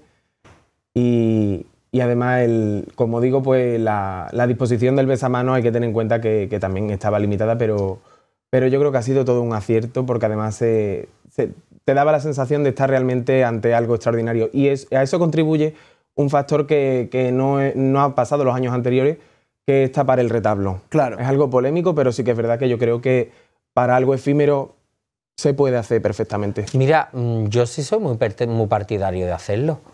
Mm, en Sevilla, para las grandes ocasiones, siempre ha habido un aparato efímero y se tapaba lo anterior. Es decir, lo ordinario, por magnífico que sea, está para todos los días. Para lo extraordinario siempre se ha, tapado todo. Se vestían las columnas, eh, se vestían los, los retablos, se vestía absolutamente todo. Es más, en Roma es algo que se sigue haciendo. Y además quería detenerme en esta fotografía porque fíjate Antonio cómo es el efecto de luces que siendo un manto verde muy oscuro, eh, gracias a ese foco blanco parece azul marino, ¿no? Es, brutal esta foto de Fran Santiago, cómo cambia de, de, color, ¿verdad? Sí, es un efecto muy curioso que tiene la fotografía. El manto es evidentemente verde oscuro pero sí que es verdad que, se ve muy bonito, se ve muy, con mucho empaque en ese, en ese tono más claro. Además yo quiero llamar la atención, fíjate, en lo mismo que hemos hablado de las tocas a la hora de hablar de la esperanza de la Trinidad, como aunque esta toca sea bordada, sin embargo el bordado tiene eh, el diseño perfecto para que también sea translúcida y se vea lo que hay debajo.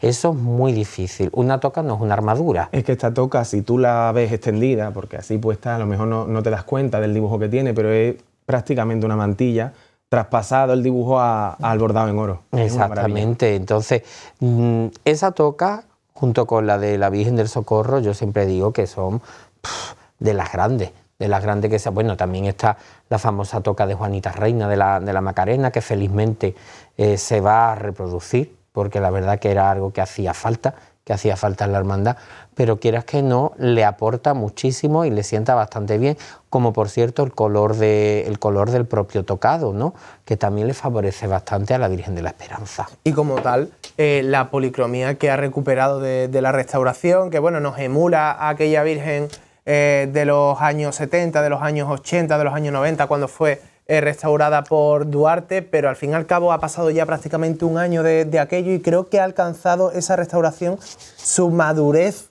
eh, en el sentido de policromía, de color, de brillo, y está la Virgen ahora mismo creo que en el mejor momento de su historia, ¿verdad, Antonio? Está espectacular, está espectacular porque ha recuperado una naturalidad en la policromía a raíz de esta restauración y ha recuperado mm, un, un brillo natural. Un brillo, que quizá eh, anteriormente, aunque no nos dábamos cuenta por mm. la cotidianidad, pero sí que estaba a lo mejor muy, muy mm, fortalecido, ¿no? Ese, ese brillo y ese y esa contraste de las sombras que hacía la, la pátina y ahora pues ha recuperado una carnación más natural. Sí, sí, sí. Hombre, hacía 30 años. Hacía 30 años que la Virgen que la Virgen no se tocaba y la verdad es que ha quedado bastante bien. El resultado ha sido muy satisfactorio. Además también, eh, una vez hemos hablado de, la propia restauración de la Virgen, de ese pellizco ¿no? Eh, que encoge el alma cuando una persona pasa por delante de ella y ese brillo que, nos transmite, ¿no? porque es un rostro, es una belleza que inunda cualquier penumbra del mundo. Quería rescatar ese salón de trono que también se ha ejecutado este año en la Esperanza de Triana y sobre todo quería centrarme en el techo de palio, que es una forma de reutilizar elementos. ¿no? La hermandad va a estrenar el año que viene un dosel, pero también me gusta ¿no? que se reensalcen y se reutilicen elementos que bueno, están en el museo y por qué no exponerlos en, en el propio Samano. ¿no? Esto ha pasado toda la vida. durante, vamos, yo creo que en las fotos más antiguas de los altares de culto se pueden ver eh, piezas de procesión, ¿no? ya sean bambalinas, techos de palio, respiraderos. Las hermandades han hecho uso de su patrimonio, pues evidentemente para sus menesteres. Exactamente, de hecho, los famosos altares de culto que, que montaba Pepe Persio, Pepe de la Salesa, eh, que vemos de esa época, todos son con elementos reutilizados, o sea que a mí me parece bastante bien que se haga. Y por cierto, les vuelvo a recordar que este jueves 101 Televisión Sevilla retransmite en directo el traslado de la Esperanza de Triana y del Santísimo Cristo de las Tres Caídas a la Real Parroquia de Santa Ana con motivo de las obras que acabamos aquí de explicar, unas obras que se extenderán hasta finales de enero, pero parece ser que la Hermandad Trianera volverá antes de febrero, un traslado que como digo comenzaremos a partir de las cinco y media, la propia eh, Hermandad sacará sus titulares a partir de las seis de la tarde y bueno, aproximadamente hasta las siete y media, ocho menos cuarto estaremos en directo en esta casa. Antonio, muchísimas gracias, gracias historiador y diseñador. Eh, te hacemos entrega de este nazareno corporativo de mi alacena cofrade y ha sido un placer que estés con nosotros. Muchísimas gracias. Por cierto, eh, cuéntame tres diseños que hayas hecho para la hermandad, tu top tres. Pues mira, el, primero fue para mí muy especial, por supuesto, porque fue eh, la pintura que va en las puertas del camarín. ¿no? ese diseño se lo hice por, por, encargo de, mi amigo Pedro González, que fue quien lo pintó. Luego he, terminado ¿no? la parte, el manto rojo, ¿no? la parte que faltaba, ya que era de vistas. Y bueno, tercer encargo, por ahora no puedo decir más. Bueno, bueno, pues habrá que estar pendientes, Antonio, eh, con lo que nos sorprendes en el futuro. Apunten bien su nombre, Antonio Castro, historiador del arte y diseñador que también es hermano de la Esperanza de Triana y de las Penas de San Vicente. Además, Antonio, eh, este jueves nos veremos en la calle Pureza o aquí, retransmitiendo el traslado de la Esperanza de Triana, ¿no? Retransmitiendo, quién sabe. Donde tú quieras. Quién sabe. Muchas gracias, Antonio. Muchas gracias. Jesús Romanov, nos vemos el año que viene. Si Dios quiere. O este jueves en el traslado de la Esperanza Triana, ¿verdad? Donde el corazón nos lleve, como dice la pantalla. Totalmente, Jesús Romanov, tu corazón siempre residirá en la calle Pureza. Y ahora sí, nos vamos a ir al ensayo de la agrupación musical Virgen de los Reyes. Pero antes tengo que contarte varias noticias que creo que debes saber a esta hora de la noche. La primera, el miércoles santo de 2024 se elegirá mañana por la noche en la sede del Consejo de Hermandades y Cofradías, ya que ayer ninguno de los hermanos mayores de la jornada llegaron a un consenso y por esta parte será el propio Consejo de Hermandades y Cofradías el que imponga un plan definitivo en función a los parámetros que tienen que ejecutarse en cada una de las jornadas. Se tratan de parámetros de seguridad, de organización y de la alternancia de las cofradías a la salida de la carrera oficial y en función de esa puntuación será el Consejo de Hermandades presidido por Paco Vélez quien imponga y decida el plan que tomará el miércoles santo, que ya les puedo asegurar que será bastante diferente al que hemos vivido en este 2023. Y hablando de planes, del miércoles nos vamos al jueves, y es que ya se ha decidido por parte de sus hermanos mayores que volverán a la configuración histórica, a la configuración de toda la vida que estaba dispuesta hasta el jueves santo de 2022 con el siguiente orden que voy a leer a continuación. Tendremos en primer lugar a los negritos, a la exaltación, a las cigarreras, a Montesión, a la Quinta Angustia, al Valle y Pasión. También importante comentar que Montesión, para aliviar el trenecito con la Hermandad de los Caballos, discurrirá por Chapineros, Álvarez Quintero y la Cuesta del Rosario para llegar y volver a su recorrido habitual en la Plaza del Pan. Por tanto, el miércoles santo mañana tendrá su orden y el jueves ya lo tiene que repite el de 2022 y el de toda la vida después de que no haya fructiferado el plan del año pasado que cambió de orden a muchas cofradías de esta jornada del jueves santo. Y ahora eh, creo que hoy es un día triste para Sevilla, para su periodismo y también para las hermandades y cofradías porque desgraciadamente ha muerto el compañero, periodista y escritor Antonio Burgos a sus 80 años de edad. Hoy se ha ido al cielo por una enfermedad respiratoria que padecía desde hace varios años y bueno, estamos seguros que la esperanza ya le tiene en su regazo a quien fuera pregonero de la Semana Santa en el año 2008. Descanse en paz Antonio Burgos. Por cierto, quería comentarles, eh, vamos a ver eh, cómo se lo han pasado nuestros compañeros y este servidor en este ensayo de Virgen de los Reyes, pero tengo que darles un consejo, más ahora que vamos a hablar de música, y es que si tú eres músico y si tú estás buscando nuevos zapatos, no dudes en contactar con nuestros amigos de Danigan, que te van a regalar y te van a ofrecer las zapatillas por dentro y los zapatos por fuera para todos los músicos que así lo deseen. Nada más que añadir a esta noche que para nosotros ha tenido de todo, ¿no? Porque hemos tenido como si fueran regalos de reyes todos los registros televisivos, el arte, la historia, la divulgación, la información, pero falta el entretenimiento y ese entretenimiento lo vamos a brindar y lo vamos a vivir con la agrupación Virgen de los Reyes. Ahora sí, nos despedimos de este plató que hoy apaga sus luces, que hoy apaga sus motores para recibirles de nuevo con 2024, con una nueva temporada, con un nuevo curso cofrade que tendrá como final la Semana Santa del año 2024. Sin nada más que añadir, tengan la amabilidad, como siempre les digo, de ser felices. Nos vemos mañana mismo a partir de las 5 y media de la tarde con todo el equipo de Al Cielo retransmitiendo en directo el traslado de la Esperanza de Triana. Y sin un minuto más que perder, ahora sí, nos vamos hasta el local de la agrupación musical Virgen de los Reyes, la formación que le pone luz, color y sobre todo que le pone música a la Navidad en Sevilla.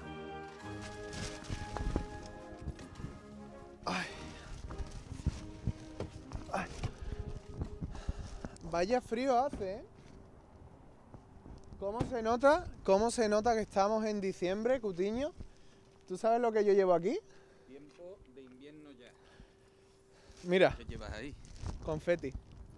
No teníamos suficiente, no teníamos suficiente con las campanadas y hemos decidido hoy terminar con las existencias. ¿Vamos a terminar campanazo? Sí, vamos a terminar campanazo, que por cierto le enviamos un abrazo al señor Manuel Martín Ciudad, que fue nuestro hombre campana. ¿Qué tal? Mira, tenemos ahí a Juan López Vela y a Javier Abad, que se incorporan a esta visita que le vamos a hacer como cada año a la agrupación musical Virgen de los Reyes. Esto prácticamente se ha convertido ya en una peregrinación anual que, que le hacemos a la banda de la Navidad, a la banda que es eh, el día a día de los más niños durante estas fiestas, ¿no? Además este año que van a volverle a, acompañar a la cabalgata de los Reyes Magos. Pero espérate que tenemos por ahí a Javier Abad y a Juan. Venid por aquí, venid rápido, rápido.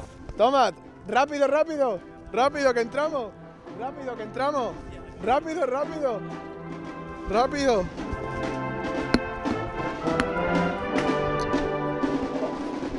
¡Vamos ahora! ¡Dale, dale!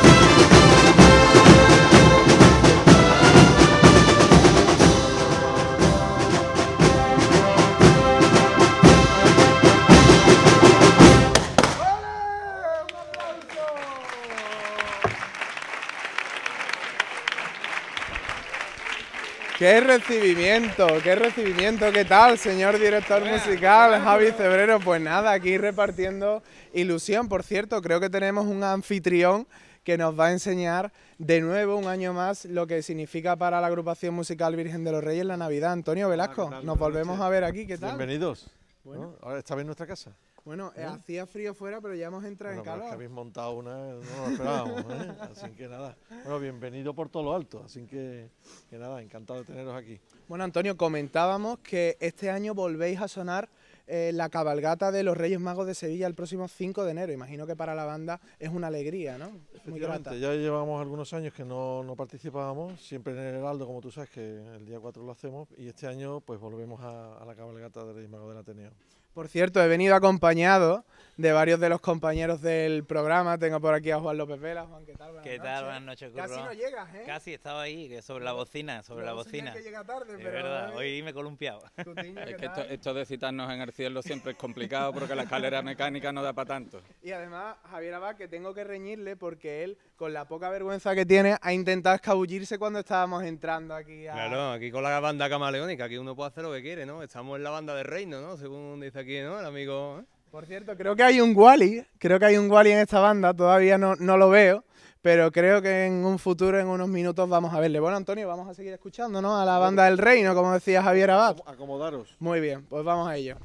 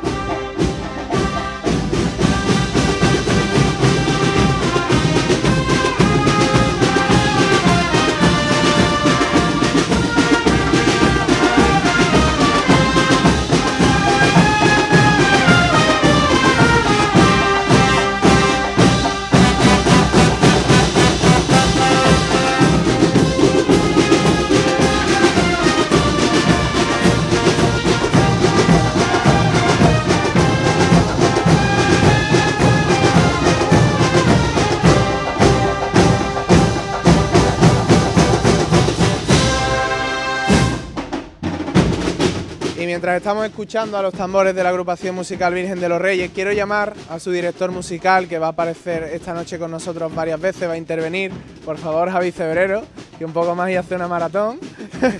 y hemos estado hablando antes, eh, mientras tus músicos preparan las partituras para tocar otra composición, y quiero preguntarte rápidamente tus tres deseos para el nuevo año. Bueno, pues yo tengo tres deseos para, para, para mi banda, para información, que, que los quiero hacer yo. El primero y más importante es que Alberto no vuelva al programa en 2024.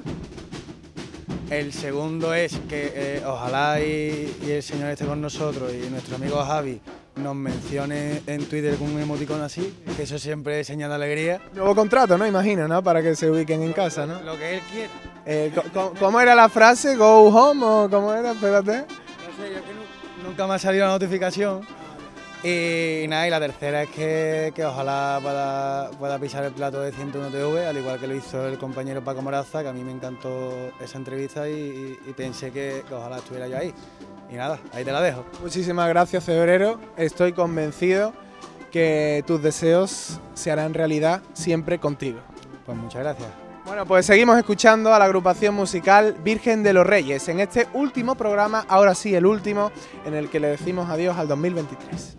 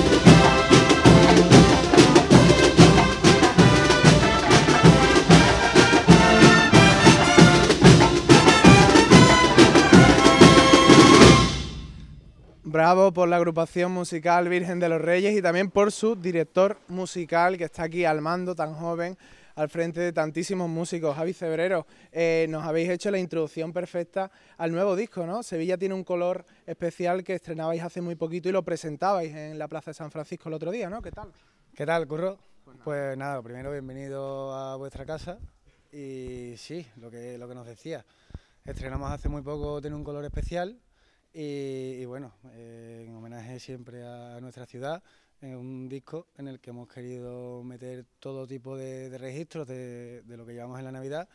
Es cierto que este disco eh, pues carece de villancicos porque los que tenemos en el repertorio ya los tenemos grabados en, en discos anteriores. Y bueno, llevamos temas tanto de los, de los 80, de los 90, tenemos temas que han sido conocidos internacionalmente. Y bueno, temas como también de nuestro querido Rafa Serna, con Se te nota en la mirada, y temas también muy andaluces como, como Bamboleo y Se voy a tener un color especial en este caso. Por cierto, aquí tenemos a nuestros jueces, a nuestros opinadores de cabecera, que bueno, habrá que preguntarles qué piensan, ¿no? De esta interpretación de la banda Virgen de los Reyes, Javier Abad. Yo lo que quiero escuchar es la sirenita. o sea, yo he venido a escuchar a la sirenita. Y estoy deseando de ver a, a Sebastián. ¿Dónde está ahí con la trompeta por ahí detrás? ¿Dónde está Sebastián? ¿Dónde está Sebastián? Oye, por aquí, venid, venid por aquí, por favor, que hay que ver, ellos en el plató se, se ponen ahí muy, muy agresivos. ¡Oh!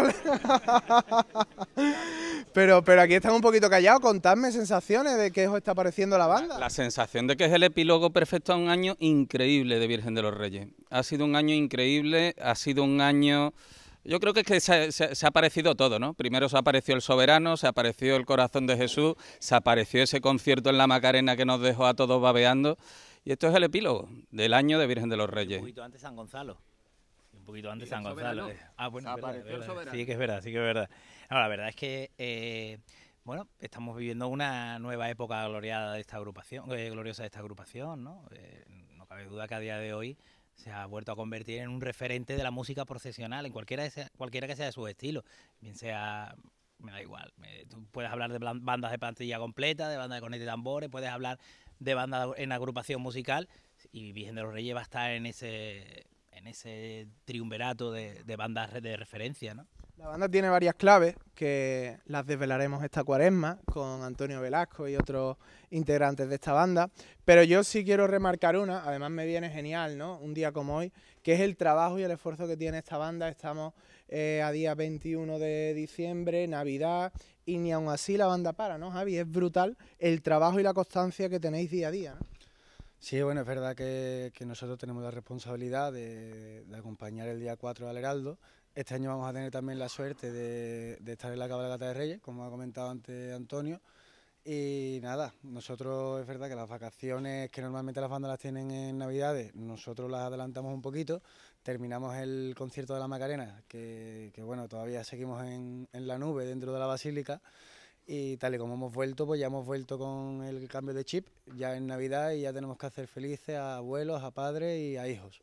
Por cierto, eh, se está acercando el Día de los Reyes Magos y, hombre, a mí me gustaría tener un disco de la banda. Si no es para mí, para nuestro público y sortearlo, pero... A la casa. Vale, vale, genial. Venga, vamos a ver qué hay por aquí. Yo es que soy muy de los regalos, Javi. Qué bueno. Esto es para ti, tiene un color Pues muchas gracias, muchas gracias. Aquí lo tienen. El nuevo disco de, de la banda, que por cierto, ¿dónde lo habéis grabado? Lo hemos grabado en, el local de los compañeros de la Centuria, que desde aquí me gustaría volver a darle las gracias, que, ellos están para todos y, es una suerte tenerlos tan cerca. Oye, ¿qué te parece si tocamos esta? Es que a mí me gusta mucho. Vine aquí hace un año y cuando hicimos este mismo reportaje... Esa es para gente de tu edad. Claro, claro, totalmente, totalmente. Y la estabais montando, pero todavía no la habíais estrenado. Me encantó, pero es que a mi padre más que tiene 58 años y esta canción está hecha está hecha para los de 30, pero es que esta banda también llega a todos los públicos. Yo quiero que suene a mis niños de 30 años, si es posible. Vamos allá. Venga, vamos. Qué maravilla esto, eh, compañero. Esto es una maravilla de, tener a la banda a esto, yo voy al curro ya el día del Heraldo allí, ¿eh? delante de la banda poniendo... Sí, no, espérate que ahora la reviraba la sirenita otra vez. ¿eh? Ahora Los, los signs de, fiscal de paso y, y curro de fiscal de banda. por cierto, que han montado una novedad, la de Será porque te amo, que esa habrá que escucharla luego. Pero bueno, vamos a quedarnos ahora con el reggaetón, que yo lo bailo todos los viernes. A ver cómo suena eso.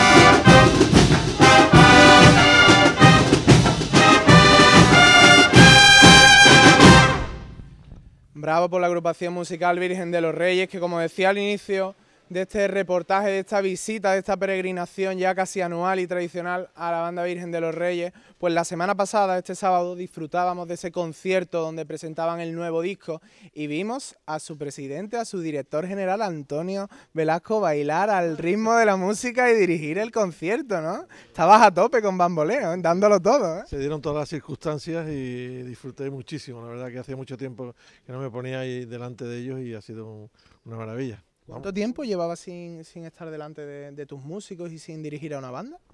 26 años, una cosa así. Sí, sí, por lo menos, sí, sí. ¿Y ese ritmo que, que te salió por las venas, eso que se ensaya, sale? ¿Cómo, cómo, cómo es eso, Antonio? Bueno, todo el mundo habla del ritmo, yo me veo fatal, yo me miro y me veo horrible. ¿Qué, ¿Qué dices? Hombre, que no se me ha pegado nada, ¿no? O sea, es que, que trabajo mucho con muchos artistas, pero no se me ha pegado nada, me he dado cuenta que no, que no he cogido hilo. Pero bueno, ya está, se, ha hecho, se hizo lo que se pudo. La verdad que mi- con, con el apoyo de ellos tengo suficiente. Por cierto, Antonio, está terminando el año, aquí estamos hablando sobre todo de Navidad, pero yo también quiero preguntarte por la mayor alegría que te has llevado este año en la banda, tu momento este año en Virgen de los Reyes. Bueno, se viven diferentes momentos. Yo a lo mejor el- me quedo con el, el- cuando ya se recoge la hermandad de la resurrección, eh, las caras de toda mi gente. Yo no, ellos para mí son lo, más grande. Entonces cuando yo veo que ellos se emocionan y, y se abrazan, yo creo que el abrazarse pa- para mí significa mucho. El contacto físico con ellos muchísimo. Y cuando los veo a ellos emocionarse y, como digo, abrazarse para mí es lo mejor. Y Antonio, reflexionando, ¿cuál ha sido tu gran sombra? Porque es una pregunta que hacemos siempre, ¿no? ¿Cuál ha sido tu gran sombra de este 2023 al que hoy le decimos adiós? Mi gran sombra te refieres musical. ¿Algún, ¿Algo que mejorarías, algo que, que cambiarías para el próximo año? ¿Un deseo a mejorar para, para 2024? Aquí, me- aquí nos proponemos mejorar diariamente. Esto quedan muchas cosas por hacer.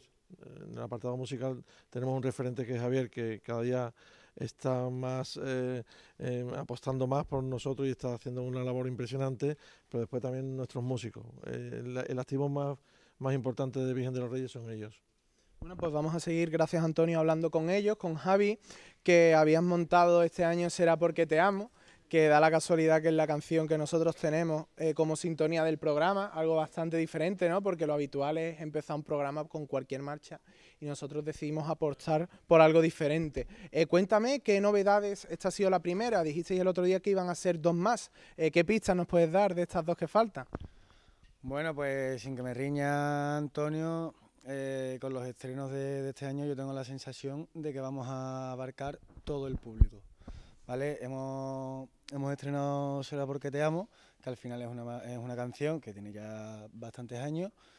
Eh, vamos a estrenar eh, otra canción de un artista sevillano y vamos a terminar con un tema que el que no sea padre no se la va a saber. ¿Tú lo eres? Todavía no, ¿no? No. Yo tampoco. Bueno, pues a lo mejor no lo... todavía no nos lo sabemos. Claro, claro. Eh, que por cierto, eh, no sé si sabes que él tuvo un pasado eh, tocando el tambor.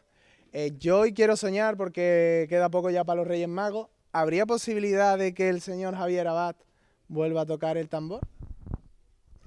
A ver. ¿Tú, tú de nivel cómo Vaya- andabas? vaya atraco, ¿eh? ¿Tú de nivel cómo andabas, Javier? Yo iba detrás del carro que va detrás con los sirios, de, por detrás de los bordillos iba yo. Imagínate lo- el nivel mío como es, ¿eh? Llevo 25 años sin, sin con un tambor, Antonio. Bueno, sigue teniendo dos manos. Lo podemos intentar, lo podemos intentar ahora. Claro, y no con los platos de siripa, vamos. No, no, eso ya pesa más, Javi.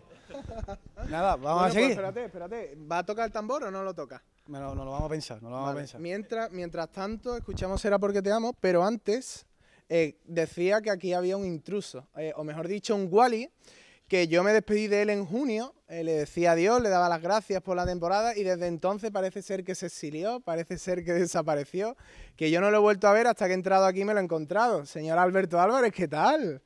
El reencuentro. Un aplauso para Alberto. Hombre,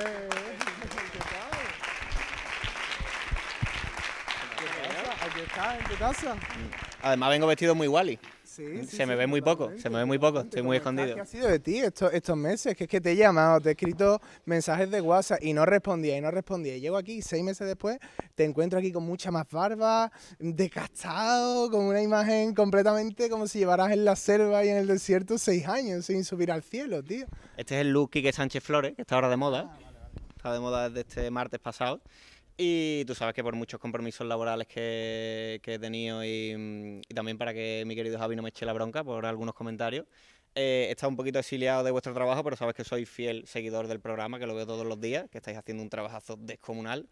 Y si vieras tu propia cadena, sabrías que además colaboro en Soy Sevilla todas las semanas, Es verdad, es verdad. que hago el Soy Legal y que además voy a participar al, al fútbol. A todo menos a las cofradías, ¿no? Todo menos a las cofradías que me echan la bronca. Oye, por cierto, aquí tienes a tu gente, a tu Javi Abad, a tu Cutiño, a tu Juan López Vela. ¿Qué le tenéis que decir hoy al nuevo colaborador de deporte de 101 que está aquí para veros? Eh, no sé si tienes tú la culpa del gafe que tenemos encima con el, con el Sevilla. Digo por el tema de los deportes, vaya. Pe- Pero lo mismo hoy ganamos, como lo tenemos Ayer. distraído, ayer, ayer, ayer. ya lo sabemos. Bueno, sí. Habremos ganado. Espérate, que están llamando a Javi. Eh, yo sé que él quiere hablar con Alberto, pero eh, a ver si cumplimos su sueño. ¿Tú te imaginas Javi tocando de nuevo el tambor? ¿Lo que sería eso? Yo me imagino, bueno, era malísimo en su día, será peor ahora, que lleva tiempo sin tocarlo. Cuentan por ahí una historia. Vamos, mira, como él es el de las exclusivas en la tele, vamos a contar una historia. Dicen por ahí que no devolvió una vez un tambor a una banda, ¿eh? No sé si, si se sabe. Si no ha prescrito y necesitas abogado. dicen, dicen que, que- que debe un tambor y digo yo que si no ha prescrito, lo comunico ahora, le llevo el asunto tranquilamente por 10, 15 mil euros, perfectamente. Oye, que por cierto, te iba a decir, Alberto, ¿cómo surgió la idea de montar Será porque te amo? Porque hablaba antes con Javi, ¿no? Pero eh, ¿cómo ha surgido esa idea de montar este tema que se ha puesto de moda en estadios de fútbol, en bodas y también en este programa, ¿no? Que estamos hoy emitiendo. Bueno, eso es la cabecita de, de nuestro Javi, de todo el equipo de, de dirección musical también, de, de Jorge de Domingo, del propio Antonio Velasco, que tratan siempre de, de sacar un repertorio lo más acorde al momento actual de, de la banda. Eh, Javi siempre está dándole vueltas a la cabeza, siempre está teniendo ideas y pues ha salido hecho, ha salido hecho. Que te iba a decir yo una cosa, Curro, porque si, va- si vamos a tener esta imagen prácticamente dantesca, ¿no? Esto, esto es inédito. Quiero, por favor, que nuestro compañero cámara enfoque.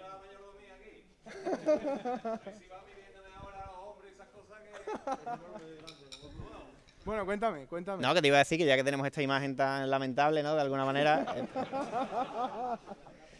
eh, eh, yo, gracias a Dios, he aprendido muchísimo de ti en la tele. Déjame enseñarte algo, ¿no? ¿No quieres entrar en la auténtica xilofonísima hoy?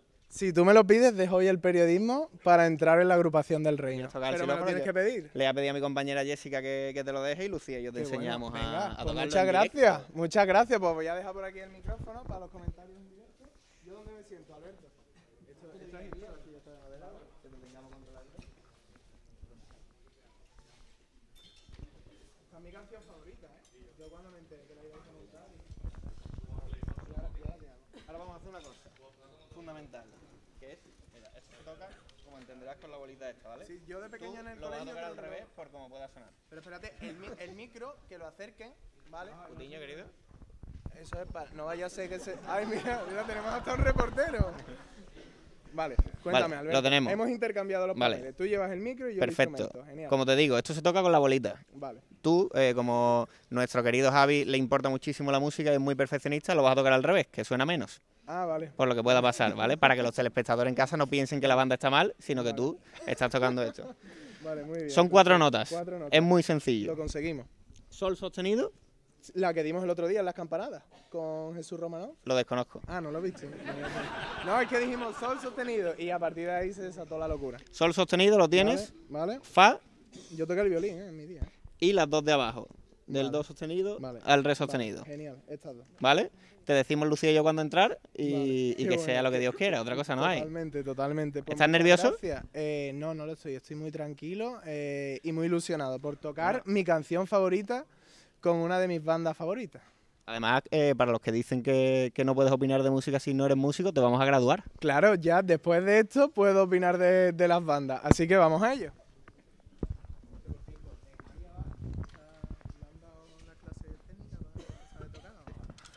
Bueno, Pues cuando diga el señor director musical, le damos paso. La del medio. Dale con esto. Ah, con, esto, vale. ¿Vale? Esta, esta y esta. Vale, vale. ¿Vale? Tranquilo, todavía.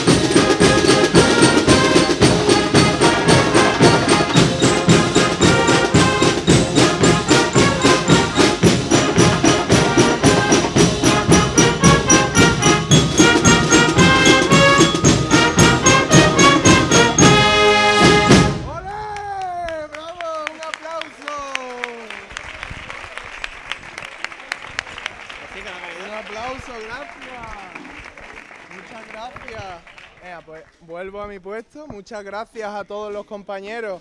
Por cierto, ¿qué, qué tal el señor Javier Abad? ¿Otra? Ay, lo dejo por aquí. Oye, me ha encantado esto, ¿eh? Yo creo que me voy a volver a dedicar a la música. Javi, muchas gracias. Muchas gracias, Antonio. Venid por aquí. Cutiño, Juan. Pero me cabe la, la duda de que esto ya estaba ensayado, ¿no? Te prometo que no. Pero es que he empezado dándole al palo y luego me han dejado darle a la bola, ¿eh? Javi es que lo ha abordado. Sí, sí, Parece que esto estaba ensayado ya. Javi está por allí al final, a ver si puede venir. Javi, vente para acá. El mérito que tiene la grupa que no se os ha notado a ninguno de los dos. Totalmente, total.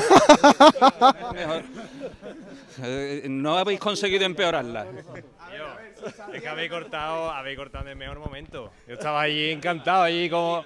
Hombre, yo estaba allí con mi compadre que me estaba enseñando los palos, el pam, pa, pa, pa, eh, lo que quiero tocar otra, tío. Yo habíamos tocado otra, ¿no, tío? Venga, venga, eh, la sirenita, la sirenita, exactamente. Toca la sirenita, imagínate los memes que puedo tener mañana, tío. Mañana jueves los grupos de WhatsApp, tío. Claro, Es un plano corto de él. Estaba la estampa, la estampa romántica, en fin, las cosas. Vale, pues, venga, espera, va- vamos a organizarnos. vamos a organizarnos que nos quedamos sin tiempo y ahora sí que nos despedimos hasta el año que viene. Bueno, eh, nos vamos a quedar escuchando a la banda Bajo el Mar, dirigida por Javi Cebrero. Javi vuelve a su puesto en el que lleva toda la vida, eh, parece uno más, y nosotros ya nos quedamos como público. Vale, aquí terminamos, muchas gracias. Pues nada, familia, aquí tenéis vuestra casa cada vez que queráis. Y nada, curro, a ver si. A ver, a ver. A ver si me invitas tú a la tuya. Llegará el momento, esta cuaresma, Dios mediante. Por fin Virgen de los Reyes llegará al cielo de 101 y ahora sí os deseo feliz Navidad, feliz Año Nuevo, que estoy cargado, estoy seguro que vendrá cargado de muchísimos éxitos, de nuevas marchas, de nuevas hermandades y sobre todo de nuevos momentos que os llegarán al alma durante toda la vida. Muchas gracias, Agrupación Musical Virgen de los Reyes. Gracias.